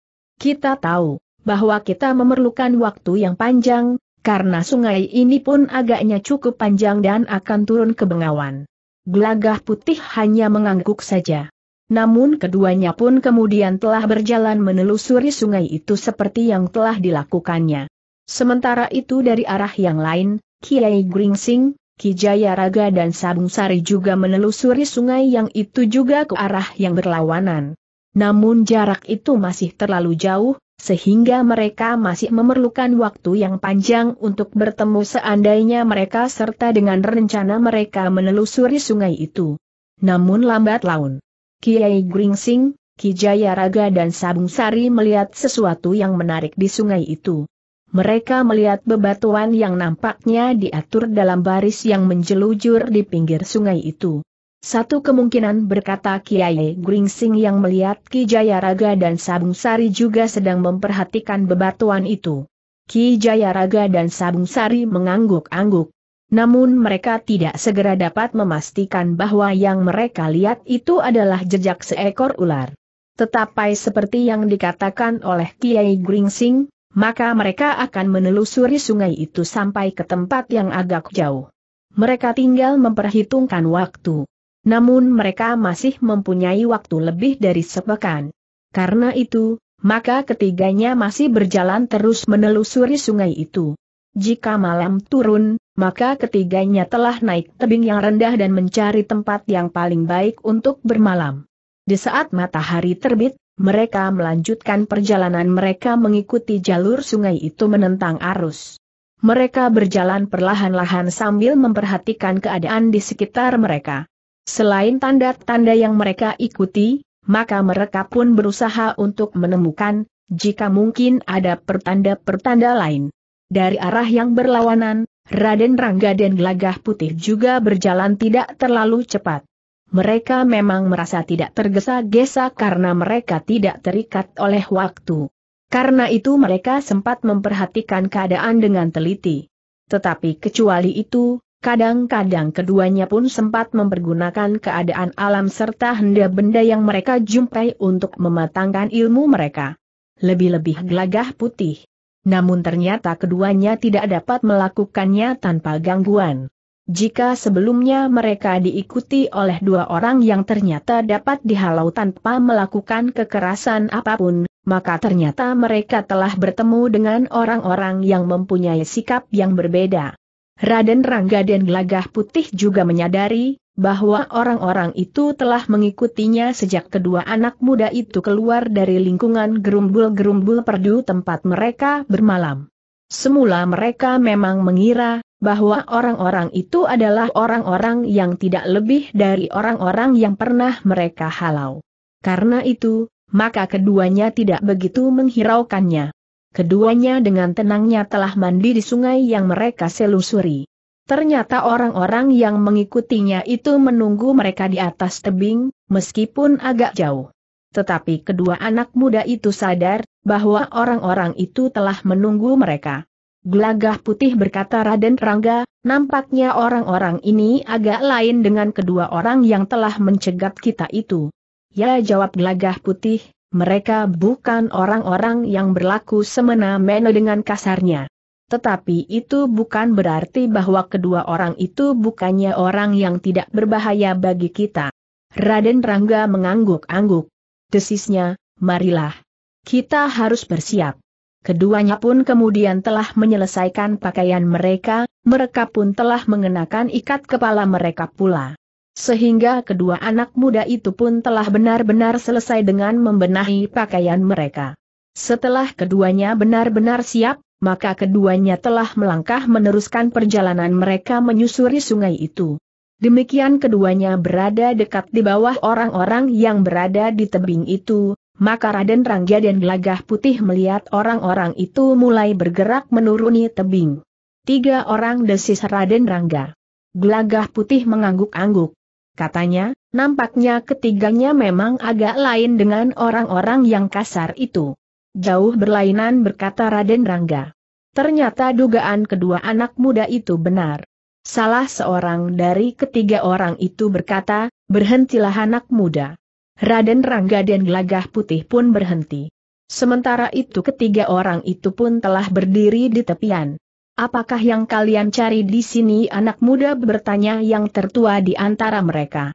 Raden Ranggalah yang kemudian berdiri di depan sambil menjawab, tidak ada yang kami cari di sini, Kisanak. Kami hanya berjalan saja menelusuri sungai ini. Hanya satu kebiasaan. Orang itu tersenyum. Katanya, satu kebiasaan yang menarik. Sejak kapan kalian mengikuti kebiasaan ini? Sejak kecil jawab Raden Rangga, kami mempunyai kebiasaan menjalani laku. Menelusuri sungai sejauh dapat kami jangkau. Siang dan jika mungkin malam. Jika kami merasa letih, maka kami pun mencari tempat untuk sekedar tidur. Apakah yang ingin kau capai dengan laku itu bertanya yang tertua di antara ketiga orang itu. Kami ingin mendapatkan ketenangan dalam hidup kami jawab Raden Rangga. Benar begitu bertanya orang itu. Kisanak ragu-ragu bertanya Raden Rangga. Ya, kami menjadi ragu-ragu. Agaknya kalian bukan anak-anak muda yang senang menikmati ketenangan dan kedamaian. Gejolak hati kalian menunjukkan bahwa kalian adalah anak-anak muda yang memandang hidup dengan gelora yang gemuruh sahut orang itu. Apakah nampaknya seperti itu bertanya Raden Rangga? Ya, dan kalian tentu anak-anak muda yang menjalani laku untuk mematangkan ilmu. Bukan untuk mendapatkan ketenangan dan kedamaian berkata orang itu pula. Ilmu yang ada pada kami adalah ilmu yang berkadar sangat rendah. Mungkin kami ingin mematangkannya. Tetapi bagaimanapun juga, nilainya tidak akan memberikan banyak arti jawab Raden Rangga pula. Ketiga orang itu nampaknya sangat tertarik kepada kedua orang anak muda itu. Bahkan seorang di antara mereka bertanya siapakah nama kalian anak-anak muda? Raden Rangga mengerutkan keningnya. Tetapi seperti biasanya ia menyebut sebuah nama asal saja diucapkan nama Kuida dan itu kakak sepupuku namanya Pinta. Ketiga orang itu saling berpandangan sejenak. Namun mereka pun kemudian tersenyum. Seorang di antara mereka bertanya apakah nama itu benar-benar nama kalian? Raden Rangga memandang ketiga orang itu dengan heran. Bahkan ia pun bertanya apakah kami sudah berbohong? Aku tidak tahu. Apakah gunanya untuk tidak menyebut nama yang sebenarnya? Baiklah berkata yang tertua di antara mereka biarlah kami memanggil kalian dengan nama Wida dan Binta. Nama yang baik menurut pendapatku. Tentu jawab Raden Rangga ayahku memberiku nama yang baik namun tiba-tiba Raden Rangga itu pun bertanya kisanak, kami sudah menyebut nama kami. Perkenankanlah kami bertanya, siapa nama kalian bertiga? Baiklah anak-anak muda. Kami tidak akan merahasiakan nama kami. Mungkin kalian sudah mendengarnya, tetapi mungkin juga belum.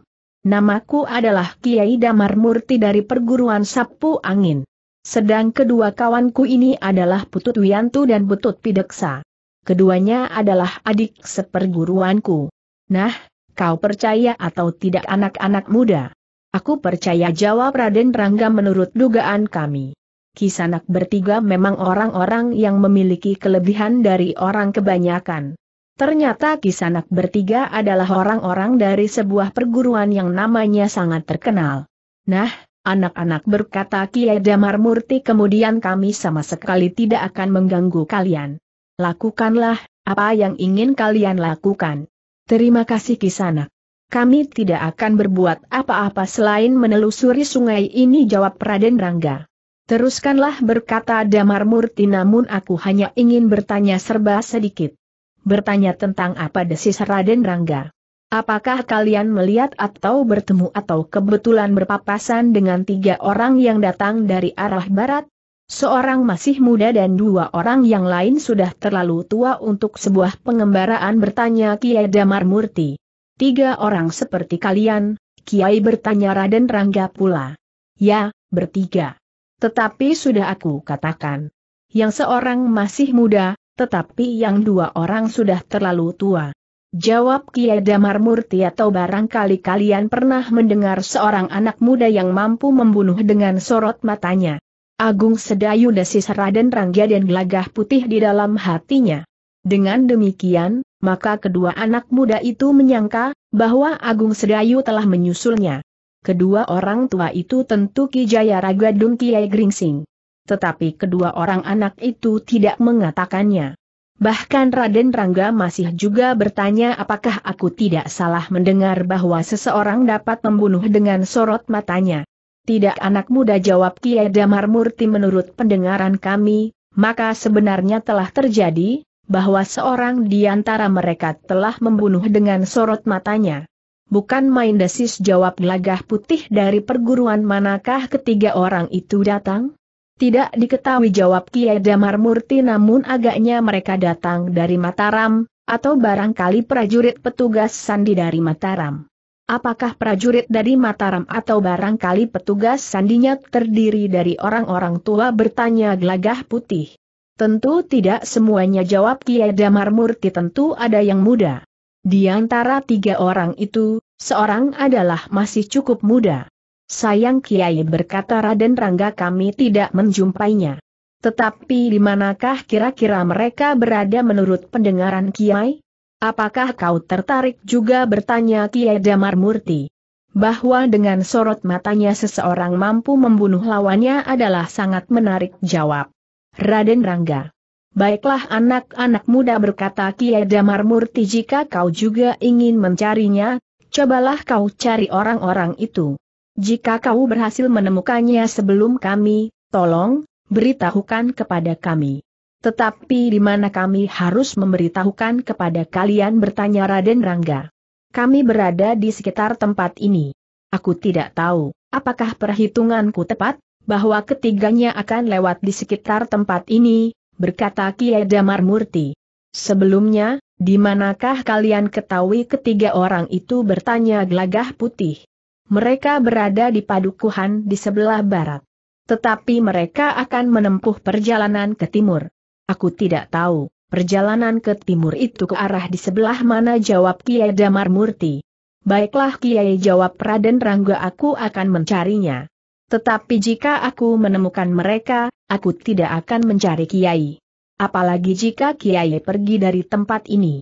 Aku akan berada di sekitar tempat ini berkata Kiai Damar Murti kau dapat mencariku di hutan perdu di sebelah pategalan itu. Atau di sekitarnya. Tetapi Raden Rangga tetap menggeleng titik. Katanya aku tidak akan mencarimu Kiai.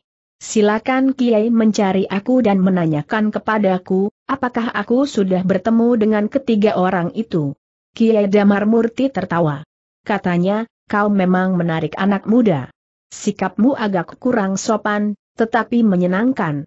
Namun demikian jangan membantah. Cari aku agar aku tidak mencarimu.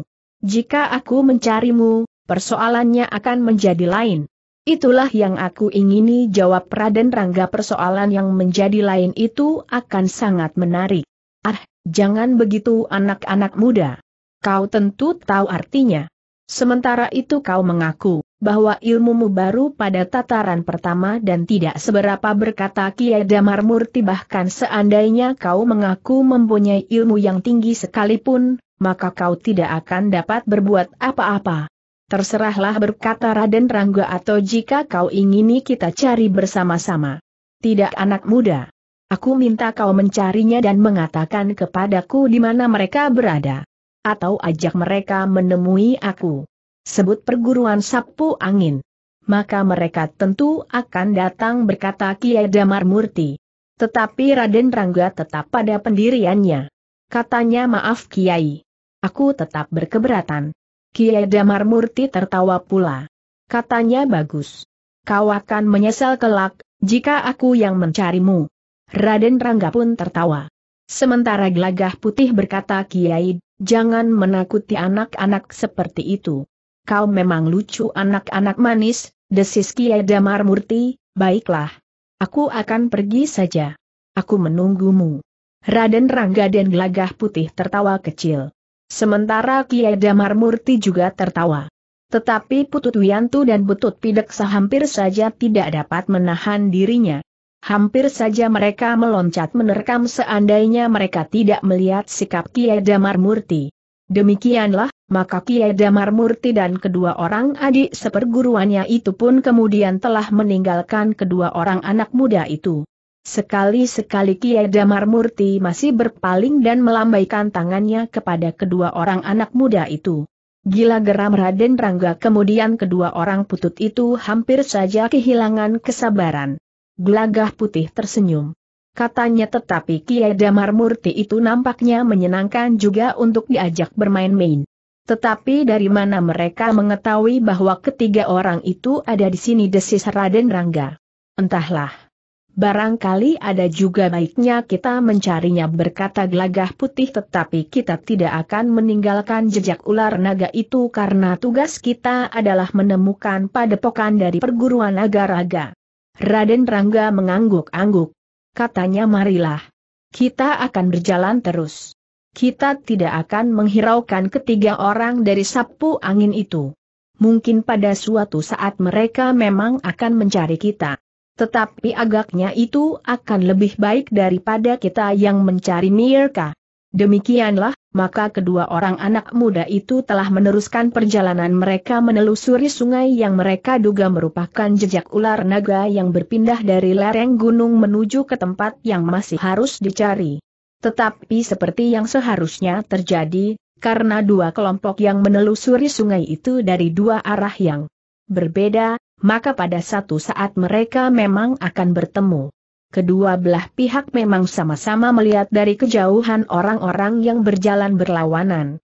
Dengan ketajaman penglihatan mereka, maka mereka pun segera mengetahui, dengan siapa mereka berpapasan. Namun hampir berbareng Raden Rangga dan Gelagah Putih berdesis ternyata yang datang Sabung Sari. Bukan Kakang Agung Sedayu. Gelagah Putih memang merasa agak kecewa. Dengan nada rendah ia berkata kenapa bukan Kakang Agung Sedayu saja yang menyusul kita kemari? Sama saja berkata Raten Rangga ternyata yang dikatakan telah membunuh dengan sorot matanya. Adalah Sabung Sari. Demikianlah, akhirnya keduanya pun menjadi saling mendekati. Kiai Gringsing, Ki Jaya Raga dan Sabung Sari pun merasa gembira, bahwa akhirnya mereka dapat bertemu juga dengan Raden Rangga dan Gelagah Putih. Ketika mereka menjadi dekat, maka kegembiraan itu pun tertuang pada sikap masing-masing. Dengan serta-merta Raden Rangga berkata kalian membawa pesan ayahanda bahwa kami sudah terlalu lama meninggalkan Mataram? Tidak jawab Kiai Gringsing nanti sajalah kita berbicara. Marilah, duduk dahulu Raden. Mereka pun kemudian duduk di tepian. Dengan ragu-ragu Kiai Gringsing bertanya, apakah yang Raden dapatkan di sungai ini? Seperti yang Kiai dapatkan jawab Raden Rangga bukankah Kiai menelusuri jejak seekor ular? Namun ke arah yang berlawanan dengan jalur yang aku ambil bersama gelagah putih. Adalah satu kebetulan, bahwa dengan demikian kita dapat bertemu. Jika kita menuju ke arah yang sama, mungkin kita tidak akan dapat bertemu. Raden berkata Kiai Gringsing kemudian dari mana Raden mulai menelusuri jejak itu? Dari lereng gunung Kiai jawab Raden Rangga seorang tua mengatakan, bahwa seekor ular naga pernah berpindah tempat. Kiai Gringsing, Kijaya Raga dan Sabung Sari mengangguk-angguk. Yang dikatakan oleh Raden Rangga itu memang mirip dengan keterangan yang pernah didengar dari orang-orang yang telah ditemuinya terdahulu. Apalagi ketika Raden Rangga dan Gelagah Putih kemudian menceritakan tentang bekas sebuah padepokan yang besar yang telah kosong dan tidak dihuni lagi. Padepokan dari perguruan Nagaraga berkata Kiai Gringsing. Ya sahut Raden Rangga kami menemukan ciri-ciri perguruan Nagaraga pada tiang-tiangnya yang masih kokoh. Kiai Gringsing, Ki Jaya Raga dan Sabung Sari mengangguk-angguk. Dengan nada rendah Kiai Gringsing berkata jika demikian, kita akan menelusuri sungai ini ke arah sebagaimana kalian lakukan. Kita akan segera bertemu dengan sekelompok prajurit Mataram di bawah pimpinan Pangeran Singasari. Pamanda Singasari desis Raden Rangga kenapa ayahanda memerintahkan Pamanda Singasari? Aku tidak tahu ngerjawab Kiai Gringsing mungkin menurut ayahanda. Pangeran Singasari adalah orang yang paling tepat untuk tugas ini. Tidak jawab Raden Rangga bukan Paman Singasari. Namun bagaimanapun juga, ayahanda Raden sudah memerintahkan Pamanda Singasari. Raden tidak dapat menentang perintah itu berkata Kiai Gringsing. Raden Rangga menarik nafas dalam-dalam. Sambil memandang ke kejauhan ia berdesis ya. Ayahanda sudah memerintahkannya. Karena itu Raden berkata Kiai Gringsin kita tinggal menjalaninya. Menurut Ayahanda Raden, perguruan Nagaraga memang wajib dihukum, karena telah berani berusaha untuk menyingkirkan Ayahanda Raden. Dan Paman Singasari akan melakukannya dengan mantap berkata Raden Rangga. Kiai Gringsing mengerutkan keningnya. Anak ini memang aneh. Raden Rangga sendiri sering terlibat dalam pembunuhan meskipun sebagian besar ia bermaksud baik. Tetapi ia menilai pamandanya Pangeran Singasari agak kurang baik karena kekerasannya. Namun sekali lagi Ki Jayaraga mengulangi keterangan Kiai Gringsing kita tinggal menjalani perintah Ayahanda Raden. Namun dalam pada itu, tiba-tiba saja gelagah putih berkata Kiai, selain tugas yang Kiai emban bersama di bawah pimpinan Pangeran Singasari, apakah ada hubungannya dengan kami berdua? Kami mencari kalian berdua agar tugas kita dapat bergabung. Bukankah tugas kalian sekedar mencari keterangan, sementara kami yang menyusul kemudian mendapat perintah bertindak lebih jauh dari itu jawab Kiai Gringsing. Kedua anak muda itu mengangguk-angguk. Namun, tiba-tiba saja Raden Rangga teringat pesan orang-orang sapu angin. Karena itu hampir di luar sadarnya ia berkata Kiai, Apakah Kiai mengenal orang-orang sapu angin? Kenapa dengan orang-orang sapu angin bertanya Kiai Gringsing? Kami bertemu dengan orang-orang sapu angin jawab Raden Rangga mereka mencari tiga orang yang datang dari arah barat dan menuju ke timur. Seorang di antaranya dapat membunuh dengan sorot matanya. Kiai Gringsing menarik nafas dalam-dalam. Sementara itu Ki Jayaraga bertanya apakah orang itu menyebut namanya? Ya jawab Raden Rangga menurut pengakuannya, seorang yang tertua di antara mereka bernama Kiai Damar Murti. Dua orang lainnya adik seperguruannya Putut Wiantu dan Putut Pideksa. Kiai Gringsing mengangguk-angguk. Katanya ternyata mereka masih menganggap persoalannya belum selesai. Jika mereka guru dari orang-orang sapu angin yang pernah aku temui, maka mereka harus belajar dari murid-murid mereka itu, bagaimana menanggapi keadaan. Mereka berpesan kepada kami, agar jika kami bertemu dengan tiga orang yang dimaksud, kami supaya memberitahukan kepada mereka berkata Raden Rangga. Jadi Raden akan mencari mereka lagi bertanya Sabung Sari. Tidak jawab Raden Rangga sejak semula aku sudah menyatakan berkeberatan. Meskipun mereka agak mengancam. Mengancam bagaimana bertanya Sabung Sari. Kami harus mencari mereka. Jika tidak, maka mereka akan mencari kami. Jika terjadi demikian, maka persoalannya akan berbeda. Katanya, kami akan mengalami kesulitan-kesulitan berkata Raden Rangga. Bagaimana sikap Raden bertanya Sabung Sari?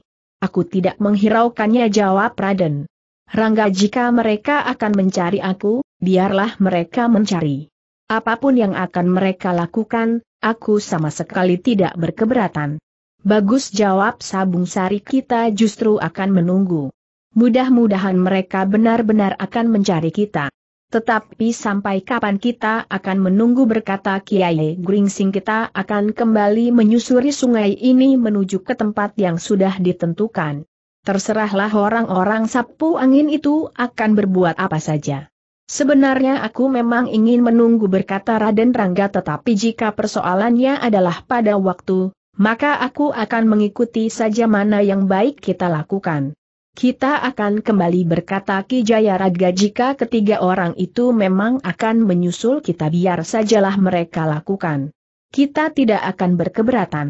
Yang lain pun mengangguk-angguk. Mereka sepakat untuk menempuh perjalanan kembali. Demikianlah maka mereka berlima pun telah meneruskan perjalanan, yang bagi Kiai Gringsing, Ki Raga dan Sabung Sari adalah jalan kembali. Mereka masih menyusuri sungai itu sampai pada satu saat nanti, mereka akan naik dan menuju ke tempat yang sudah disepakati oleh para prajurit Mataram di bawah pimpinan Pangeran Singasari. Untuk itu mereka harus mengenali isyarat yang sudah mereka bicarakan di Mataram. Namun bagi Raden Rangga dan Gelagah Putih, maka mereka akan naik sejalan dengan jejak ular naga yang mereka ikuti. Jika benar perhitungan mereka, sebagaimana dikatakan oleh orang tua yang mencari ikan itu, bahwa sekelompok orang yang mengikuti jejak ular naga itu adalah orang-orang perguruan naga-raga. Mereka tentu akan membuat padepokan baru di sekitar tempat ular naga itu bersarang. Mereka memang menganggap ular naga itu mempunyai pengaruh atas perguruan mereka berkata Kiai Gringsing.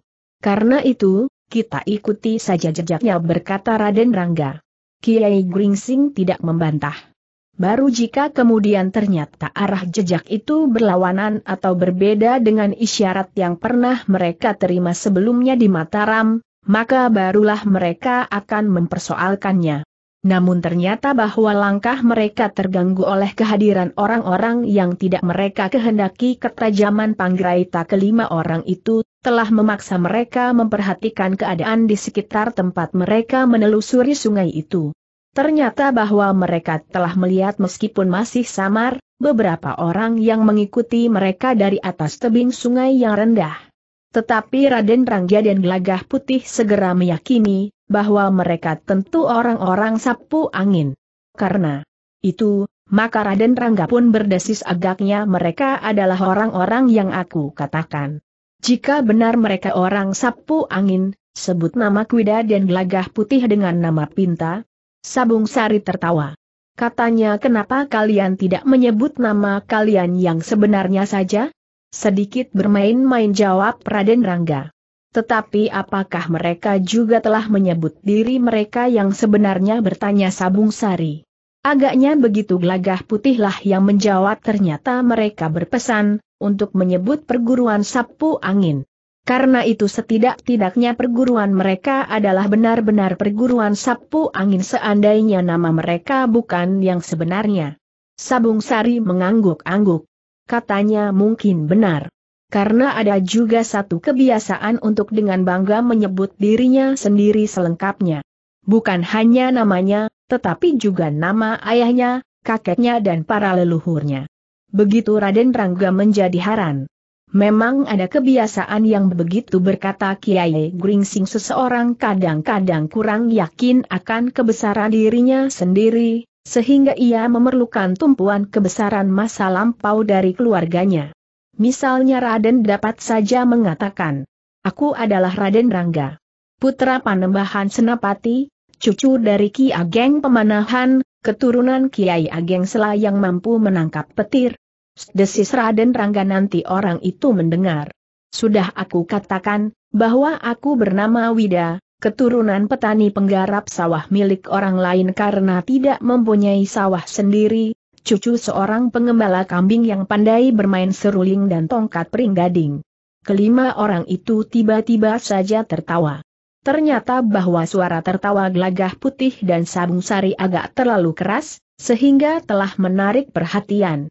Hampir bersamaan orang-orang yang berada di atas tebing itu telah menjengukkan kepala mereka. Namun pada saat yang bersamaan, Kiai Gringsing telah memandang ke arah mereka, sehingga mereka tidak dapat lagi bersembunyi. Marilah kisanak berkata Kiai Gringsing kami telah menemukan dua orang anak muda yang agaknya mempunyai bakat bercerita tentang lelucon. Ketiga orang itu tidak dapat mengendap lagi. Karena itu, maka mereka pun kemudian justru telah berdiri di atas tebing. Seperti yang diduga oleh Raden Rangga dan Gelagah Putih, maka mereka bertiga adalah memang orang-orang sapu angin. Karena itu maka Raden Rangga pun berkata nah, itulah kalian. Jika demikian, maka bukankah aku tidak usah mencari kalian? Kau memang tidak sedang mencariku anak-anak muda kau telah berjalan bersama-sama dengan tiga orang yang agaknya tengah aku cari jawab Kiai Damar Murti. Oh, begitu? Jadi benar yang aku katakan, bahwa aku memang tidak akan mencarimu dan memberitahukan kepadamu tentang ketiga orang yang kau maksudkan. Tetapi aku pun belum yakin, bahwa ketiga orang yang kau cari itu adalah ketiga orang ini jawab Raden Rangga. Tetapi anak-anak muda, kau jangan menyesal. Akulah yang sudah menemukanmu, bukan kau yang telah mencari aku karena itu, maka kalian telah terlibat dalam satu persoalan dengan kami berkata Kiai Damar Murti. Tetapi jawaban Raden Rangga ternyata tidak diduga oleh orang itu bukankah sudah aku katakan, itulah yang aku ingini. Nah, Kalian mau apa? Setangeram putut pideksa sejak semula aku sudah ingin meremas mulutnya. Raden Rangga mengerutkan keningnya. Dipandanginya orang itu dengan tajamnya. Namun sebelum ia menjawab, Kiai Gringsing lah yang bertanya Kisanak. Apakah kalian memang sedang mencari kami? Ya Kisanak. Kami memang sedang mencari tiga orang pengembara yang datang dari barat. Mungkin dari Mataram atau daerah di sekitarnya jawab Kiai Damar Murtinah, apakah kalian orang-orang yang memang sedang kami cari atau bukan? Mungkin Kisanak mempunyai tanda-tanda yang memberikan ciri yang lebih jelas daripada yang hanya sekedar tiga orang bertanya Kiai Gringsing. Ya Kisanak. Dari ketiga orang itu disebut bahwa dua orang di antaranya sudah terlalu tua untuk satu pengembaraan, sedang yang seorang memang masih cukup muda jawab Kiai Damar Murti namun yang lebih penting kisanak, apakah kalian memang pernah bertemu dengan orang-orang dari perguruan sapu angin? Ya jawab Sabung Sari dengan serta-merta kami telah bertemu dengan murid-murid dari perguruan sapu angin. Nah, jika demikian maka dugaan kami tentang kalian bertiga benar jawab Kiai Damar Murti kami memang ingin berbicara serba sedikit dengan kalian dalam hubungannya dengan murid-murid dari perguruan sapu angin. Tetapi sebelumnya kami mempunyai sedikit persoalan dengan kedua anak muda itu. Kami akan menyelesaikannya lebih dahulu. Urusan apa bertanya Kiai Gringsing? Mereka telah menolak perintah kami jawab Kiai Damar Murti. Tetapi siapakah kedua anak muda itu tiba-tiba Ki Jayaraga bertanya apakah keduanya juga murid-murid dari perguruan sapu angin. Bukan jawab Kiai Damar Murti kami bertemu mereka di alur sungai ini. Lalu, kenapa tiba-tiba saja timbul persoalan di antara kalian bertanya Ki Jayaraga pula. Anak-anak itu sudah menghina kuasa perguruan sapu angin mereka telah dengan sengaja menolak perintah kami jawab Kiai Damar Murti. Aneh sekali jawab Ki Jayaraga mereka bukan anak-anak sapu angin. Karena mereka harus tunduk pada perintahmu, orang-orang sapu angin. Apakah hakmu menuntut kepada anak-anak itu agar mereka patuh kepadamu? Wajah Kiai Damar Murti menjadi merah. Dengan nada tinggi ia bertanya apakah anak-anak itu anak-anak kalian? Bukan jawab Ki Jayaraga itulah sebabnya kami tidak merasa berhak memerintah mereka. Kalian memang bukan orang-orang sapu angin ngeram Kiai Damar Murti bagi orang-orang sapu angin pantang untuk ditolak perintahnya yang diberikan kepada siapa pun juga. Juga kepada kami bertanya Ki Jayaraga. Jika kami sudah mengucapkan perintah, maka kalian pun harus melakukannya tetapi kami mempunyai perhitungan untuk mengucapkan perintah itu. Termasuk kepada kedua orang anak-anak muda yang tidak sopan itu jawab Kiai Damar Murti. Lalu semula aku memang tertarik kepada sikapnya yang agak kurang sopan namun berterus terang. Tetapi lama-lama aku pun menjadi muak. Mungkin aku bersikap terlalu baik, sehingga disangkanya bahwa aku hanya dapat bermain-main. Sudahlah berkata Kiai Gringsing jika kalian berkepentingan dengan kita, kita dapat berbicara dengan baik. Kita dapat mencari tempat yang teduh. Kita dapat berbicara dengan baik sebagaimana orang-orang tua berbicara. Baiklah berkata Kiai Damar Murti aku akan berbicara dengan Kisanak. Tetapi biarlah kedua adikku ini sedikit memberi pelajaran kepada kedua anak muda itu sampai mereka merasa jera dan minta ampun kecuali jika sejak sekarang mereka minta ampun. Kiai Gringsing mengerutkan keningnya. Mungkin ia akan dapat memaksa gelagah putih untuk minta maaf salah atau tidak salah, namun tentu tidak kepada Raden Rangga. Dalam pada itu, Kiai Damar Murti itu pun telah membentak pula cepat, minta maaf.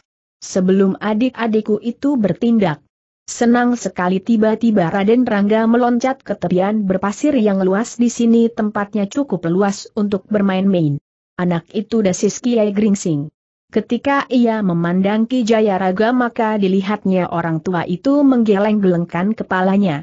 Kakang Pinta panggil Raden Rangga yang ternyata tidak melupakan nama yang diberikan kepada gelagah putih kita dapat dua orang kawan bermain-main. Marilah, ambil seorang aku seorang. Mereka akan mengajari kita untuk sedikit bersopan santun. Itu tidak mungkin Kiai Gringsing hampir berteriak kalian bertemu dengan ini. Tidak ada persoalan yang penting terjadi di antara kalian. Kenapa kalian akan berkelahi? Bukankah itu satu perbuatan yang gila-gilaan? Jangan kebingungan begitu kisanak sahut Kiai Damar Murti sudah aku katakan. Aku tidak mau dihina oleh anak-anak itu. Aku hanya akan memberikan sedikit pelajaran kepada mereka agar mereka tidak menjadi semakin besar kepala. Kau tidak berhak memerintah mereka geram Kiai Gringsing. Jangan ikut campur desis Kiai Damar Murti sementara adik-adikku memberikan pelajaran kepada kedua anak itu, kita dapat berbicara tentang kepentingan kita sendiri. Kiai Gringsing menarik nafas dalam-dalam. Nampaknya orang yang ingin menghukum kedua anak muda itu sulit dicegahnya. Sementara itu Raden Rangga dan Gelagah Putih sendiri agaknya seperti memancing persoalan pula. Karena itu, maka tiba-tiba saja Kiai Gringsing berkata jadi kalian sudah tidak dapat dicegah lagi? Yang tua itu maupun yang muda-muda?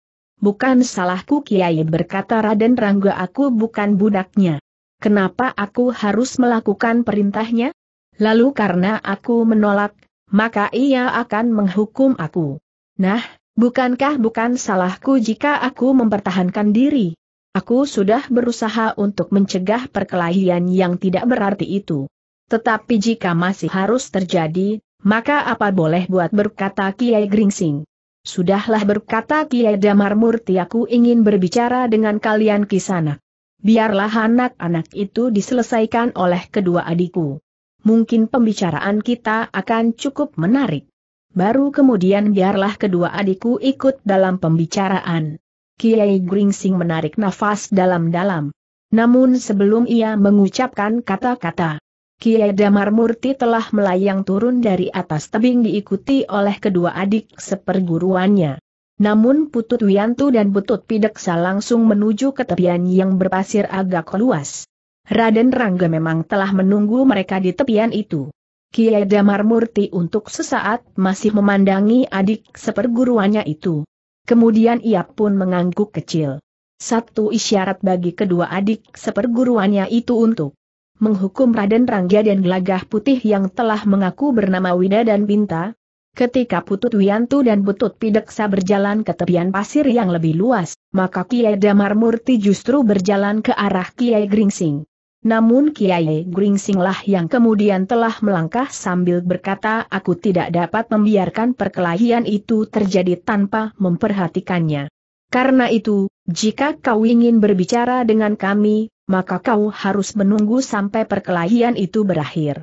Kenapa kau menjadi risau Kiai bertanya Kiai Damar Murti biarlah itu diselesaikan oleh kedua adikku.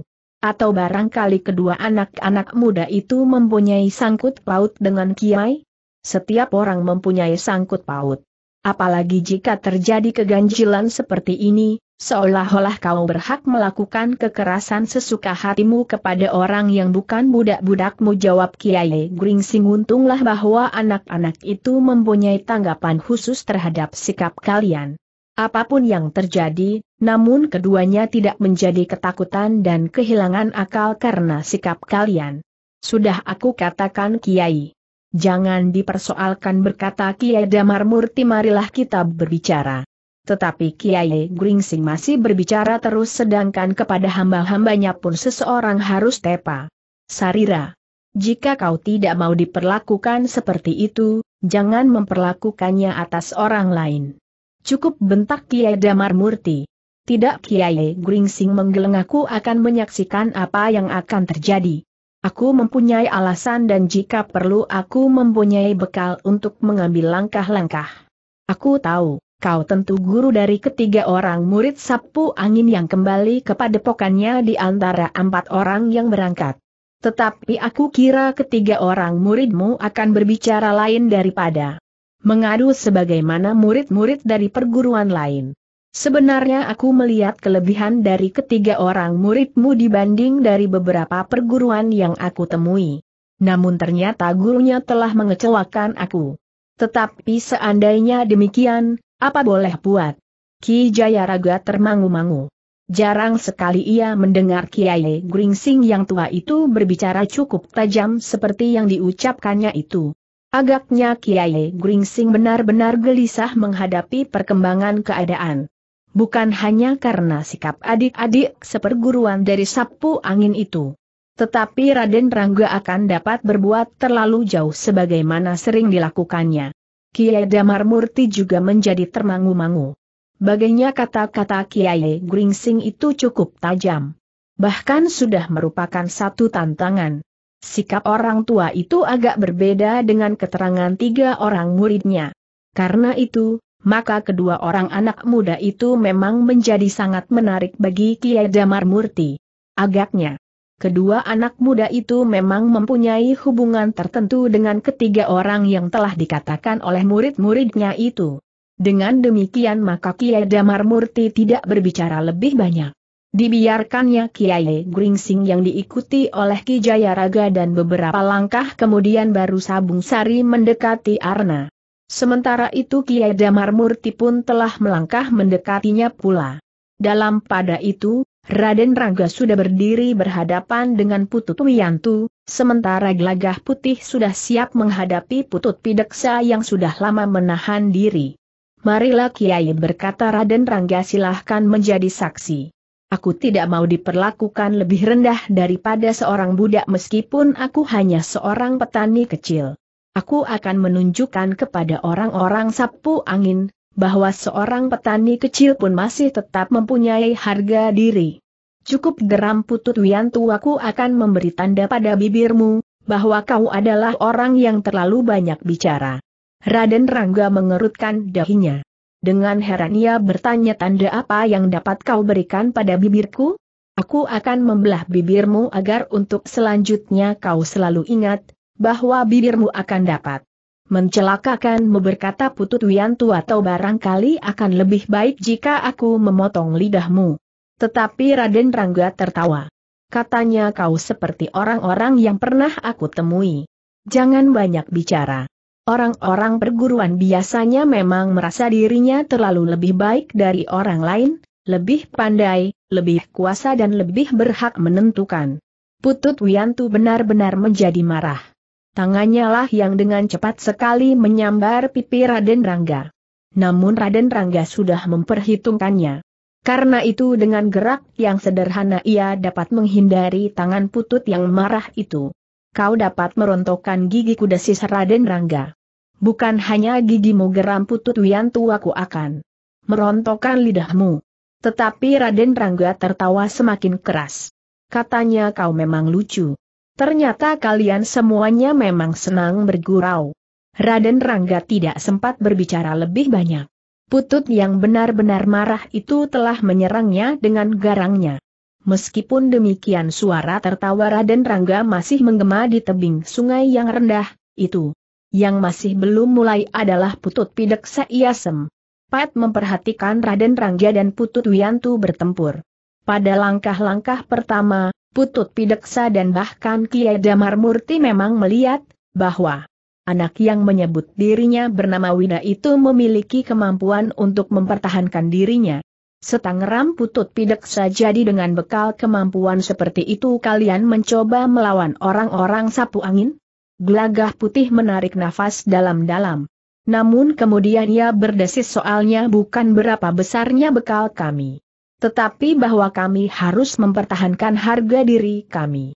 Persetangeram pideksa kalian memang terlalu sombong. Jika kalian tidak menolak perintah kami, maka tidak ada persoalan yang terjadi di antara kami. Seandainya tidak ada perintah itu desis gelagah putih. Persetangeram putut pideksa bersiaplah gelagah putih pun telah tergeser pula.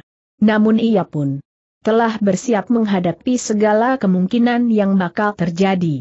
Demikianlah kedua anak muda itu telah bertempur melawan dua orang putut dari sapu angin. Pertempuran yang semakin lama menjadi semakin garang. Jika semula kedua putut itu menganggap bahwa mereka akan dengan cepat menyelesaikan tugas mereka, namun ternyata bahwa mereka telah membentur kekuatan ilmu yang tidak dibayangkannya sebelumnya.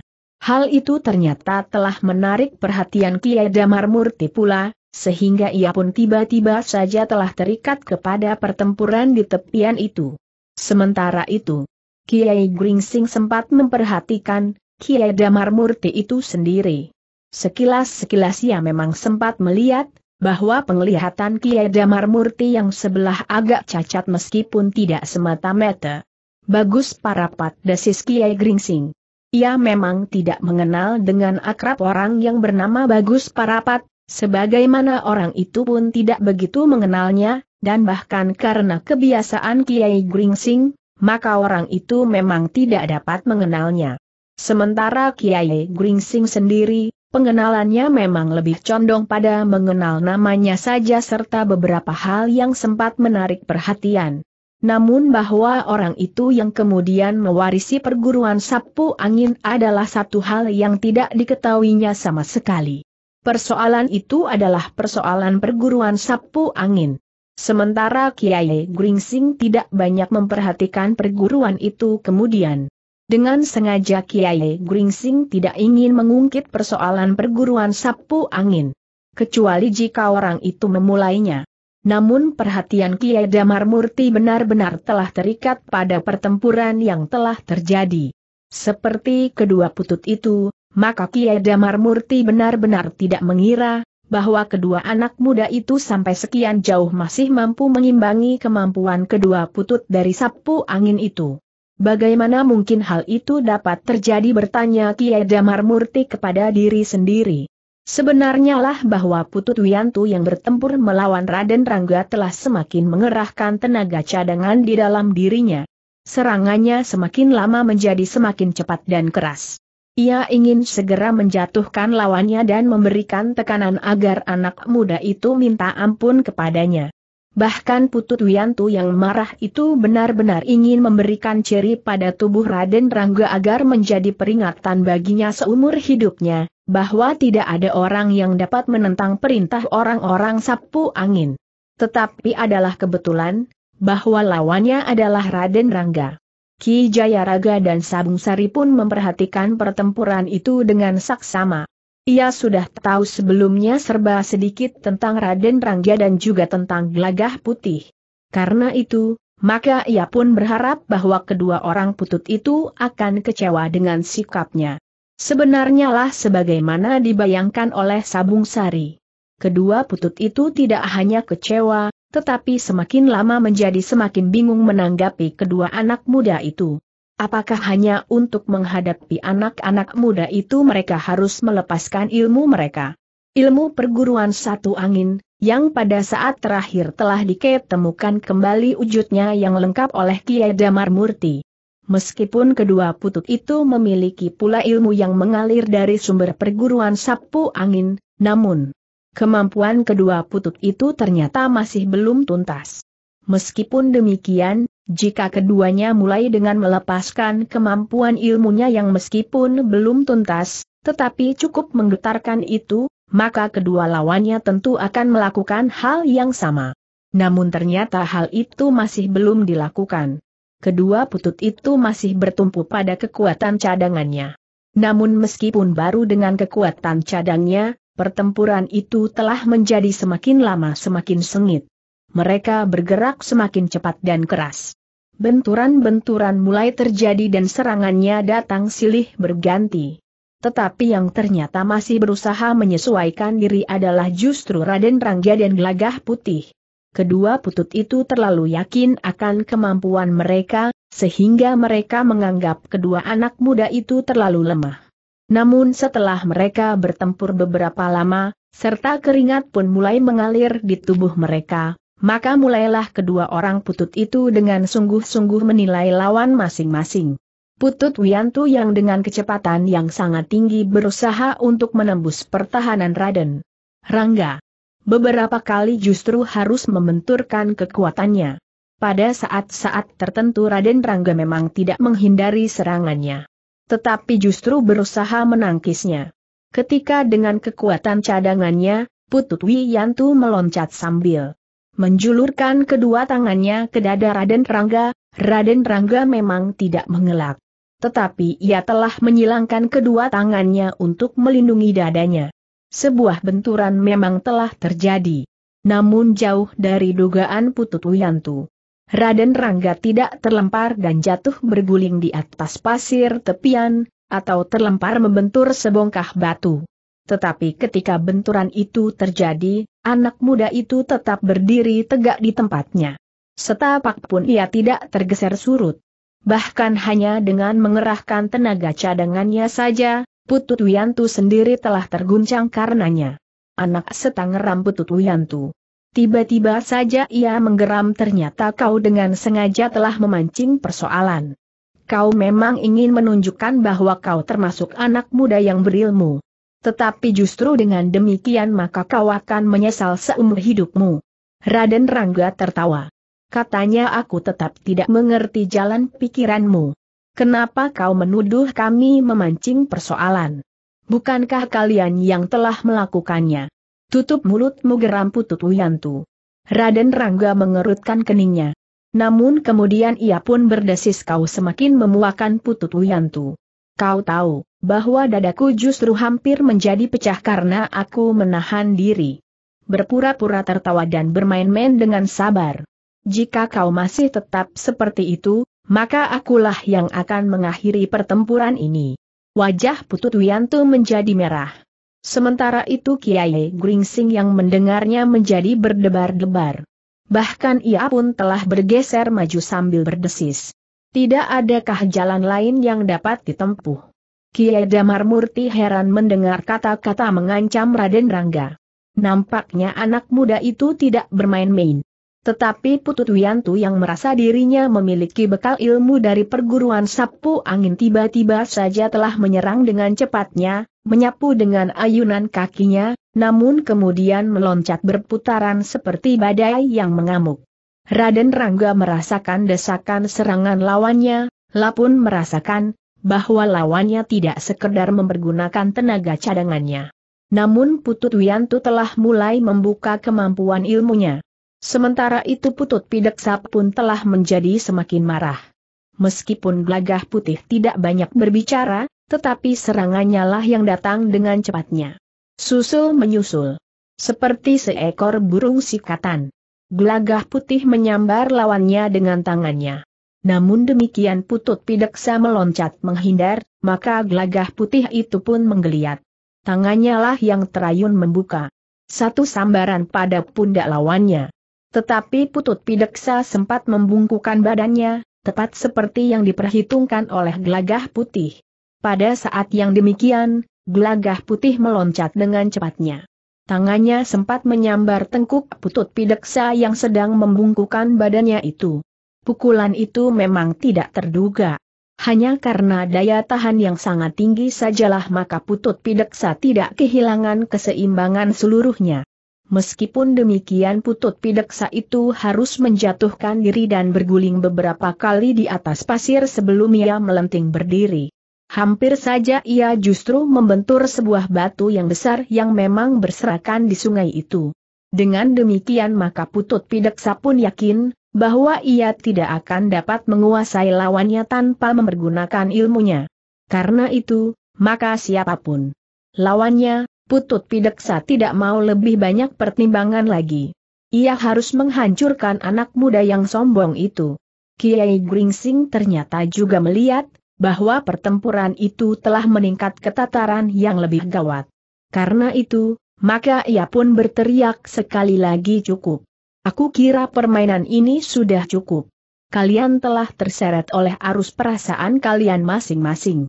Sedangkan persoalan yang sebenarnya sama sekali tidak berarti apa-apa.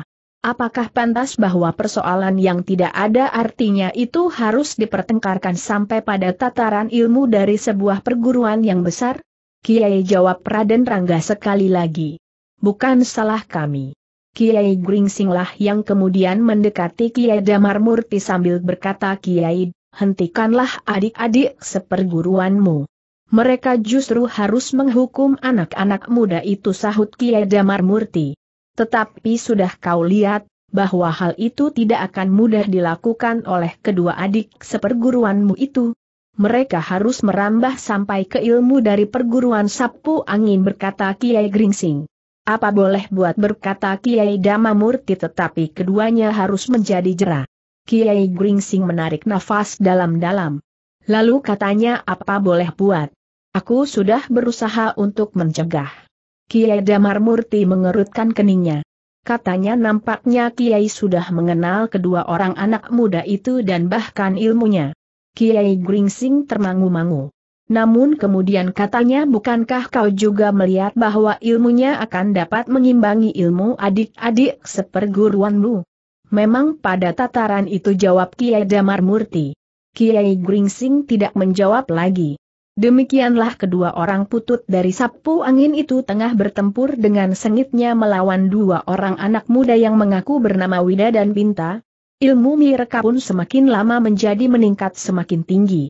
Bahkan kedua putut dari sapu angin itu telah sampai pada tingkat ilmu yang dapat mereka capai pada perguruan sapu angin. Masih belum pada wujud yang lengkap sebagaimana dikuasai pada saat-saat terakhir oleh Kiai Damar Murti. Tetapi mereka sudah memiliki kemampuan ilmu lebih baik dari murid-murid perguruan sapu angin. Putut Wiantu yang kemudian justru mulai terdesak oleh Raden Rangga, telah mengeterapkan ilmunya pula. Sambaran tangannya bukan saja memiliki jangkauan yang lebih dari wujud kewanagannya, tetapi sambaran anginnya ternyata memiliki kekuatan yang menggetarkan. Ketika Raden Rangga masih belum siap benar menghadapi ilmu itu, maka serangan Putut Wiantu yang meluncurkan prahara itu hampir saja sempat melemparkannya. Tubuh Raden Rangga memang sudah tergetar. Tetapi kakinya masih belum terangkat. Raden Rangga masih tetap berjejak di atas tanah, sehingga meskipun angin yang keras itu menghantamnya, tetapi Raden Rangga tidak terlepas dari bumi. Dalam waktu yang cepat, Raden Rangga dapat mengatasi kesulitannya. Bahkan ia pun dengan cepat telah melenting, menyerang dengan garangnya. Putut Wiantu mengumpat kasar. Bahkan katanya kepada diri sendiri sebaiknya, aku tidak mengekang diri lagi. Sebenarnya lah bahwa Putut Wiantu memang sudah bertekad untuk mengerahkan segenap kemampuannya. Ia sudah siap menyapu tepian itu dengan kekuatan angin yang dapat dilontarkan dari hentakan tangannya. Meskipun angin itu tidak sekuat dan berkemampuan mengguncang dan menerbangkan sanggar pada pokan sapu angin. Di lingkaran pertempuran yang lain, Putut Pideksa pun telah sampai pula pada satu tekad untuk menghancurkan gelagah putih. Itulah sebabnya, maka serangan-serangannya pun kemudian datang membadai. Ketika Putut Pideksa itu mengayunkan tangannya dari jarak beberapa langkah dari gelagah putih, maka hentakan angin yang dahsyat telah meluncur dan menghantum ke arah sasaran. Untunglah bahwa gelagah putih sempat melihat serangan itu dengan serta-merta ia pun telah meloncat dan menjatuhkan dirinya di atas pasir tepian, sehingga serangan yang dahsyat itu telah menghantam tebing yang tidak terlalu tinggi. Ternyata beberapa bongkah batu padas yang melekat pada dinding tebing itu telah berguguran. Bukan main ngeram gelagah putih. Dengan nada tinggi ia pun berkata jadi kita akan bersungguh-sungguh putut yang perkasa. Menyerahlah. Berjongkoklah dan minta ampun geram putut pidek sanyawamu akan selamat, meskipun kau akan mendapat hukuman yang pantas untuk kesalahan dan kesombonganmu itu. Tetapi justru itu gelagah putih telah mendapat kesempatan untuk mempersiapkan diri.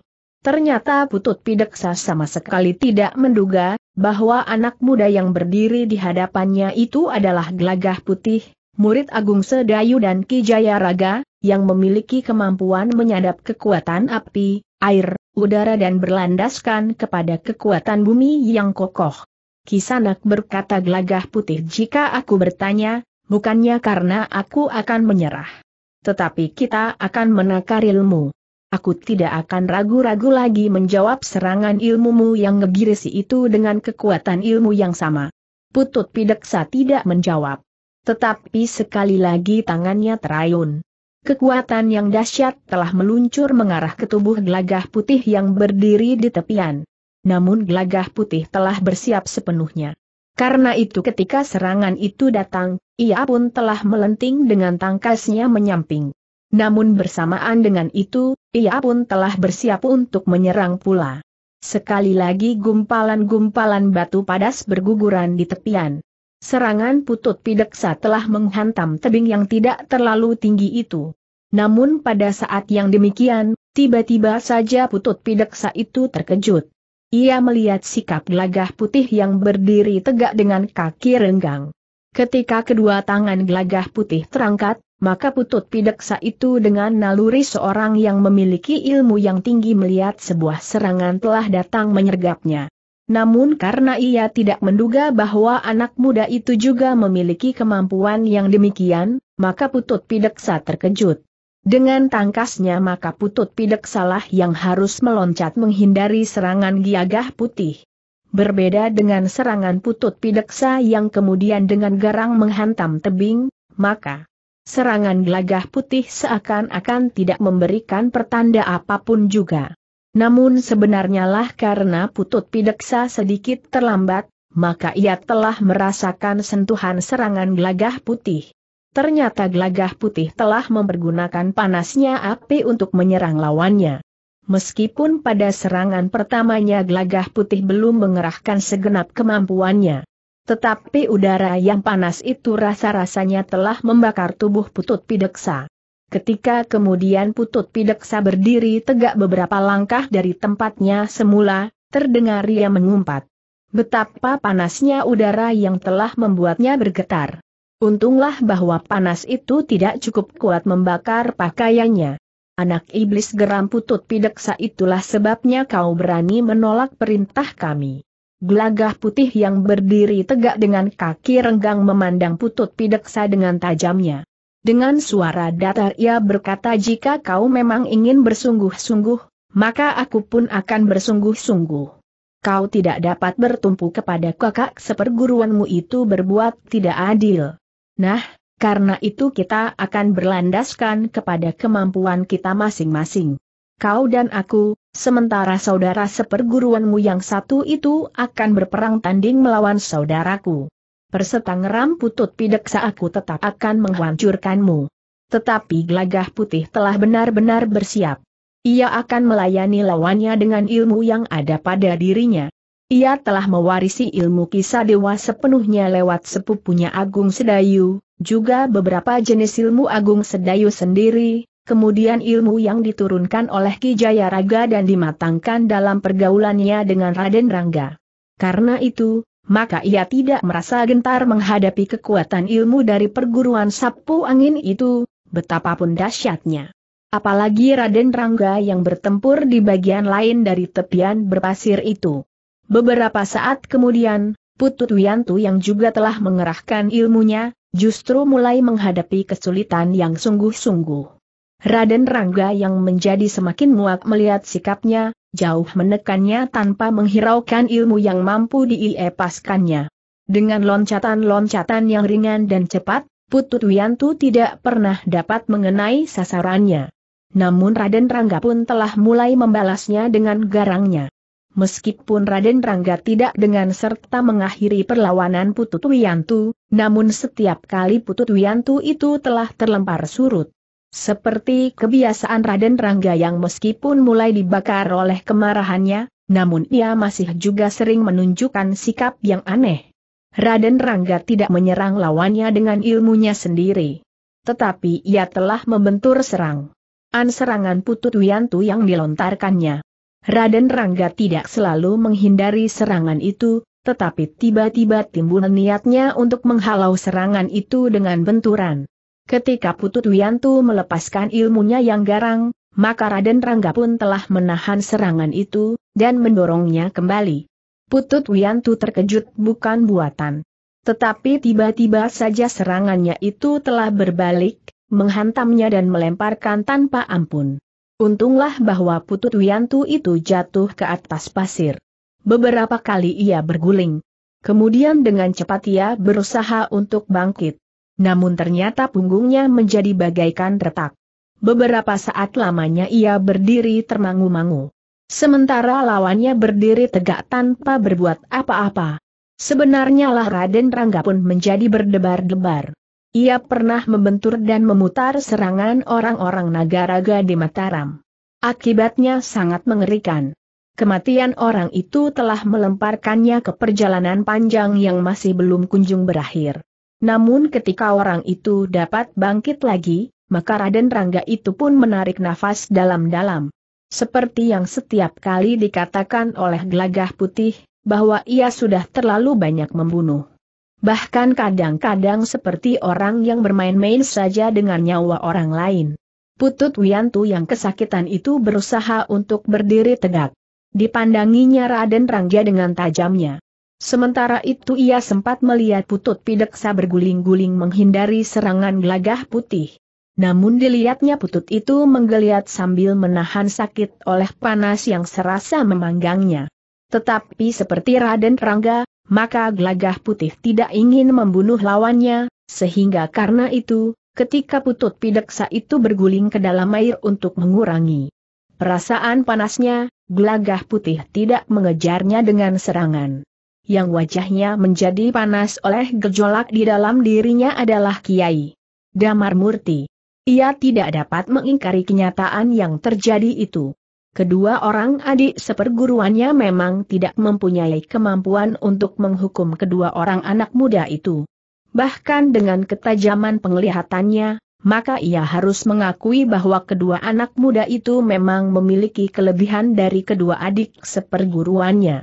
Anak muda yang melawan Putut Wiantu itu tidak mungkin dapat dikalahkan. Anak itu mampu membentengi dirinya dengan ilmu yang luar biasa, yang bahkan mampu memantulkan kekuatan ilmu lawannya. Semakin banyak Putut Wiantu menyerang, maka ia akan mengalami kesulitan semakin parah. Sekali lagi saja ia menyerang dengan kekuatan ilmunya maka kekuatan ilmu itu akan terpantul dan melemparkannya kembali sehingga punggungnya akan benar-benar menjadi patah. Apalagi jika anak muda yang menyebut dirinya Wida itu mulai menyerang. Demikian pula lawan adik seperguruannya yang bernama Putut Pideksa.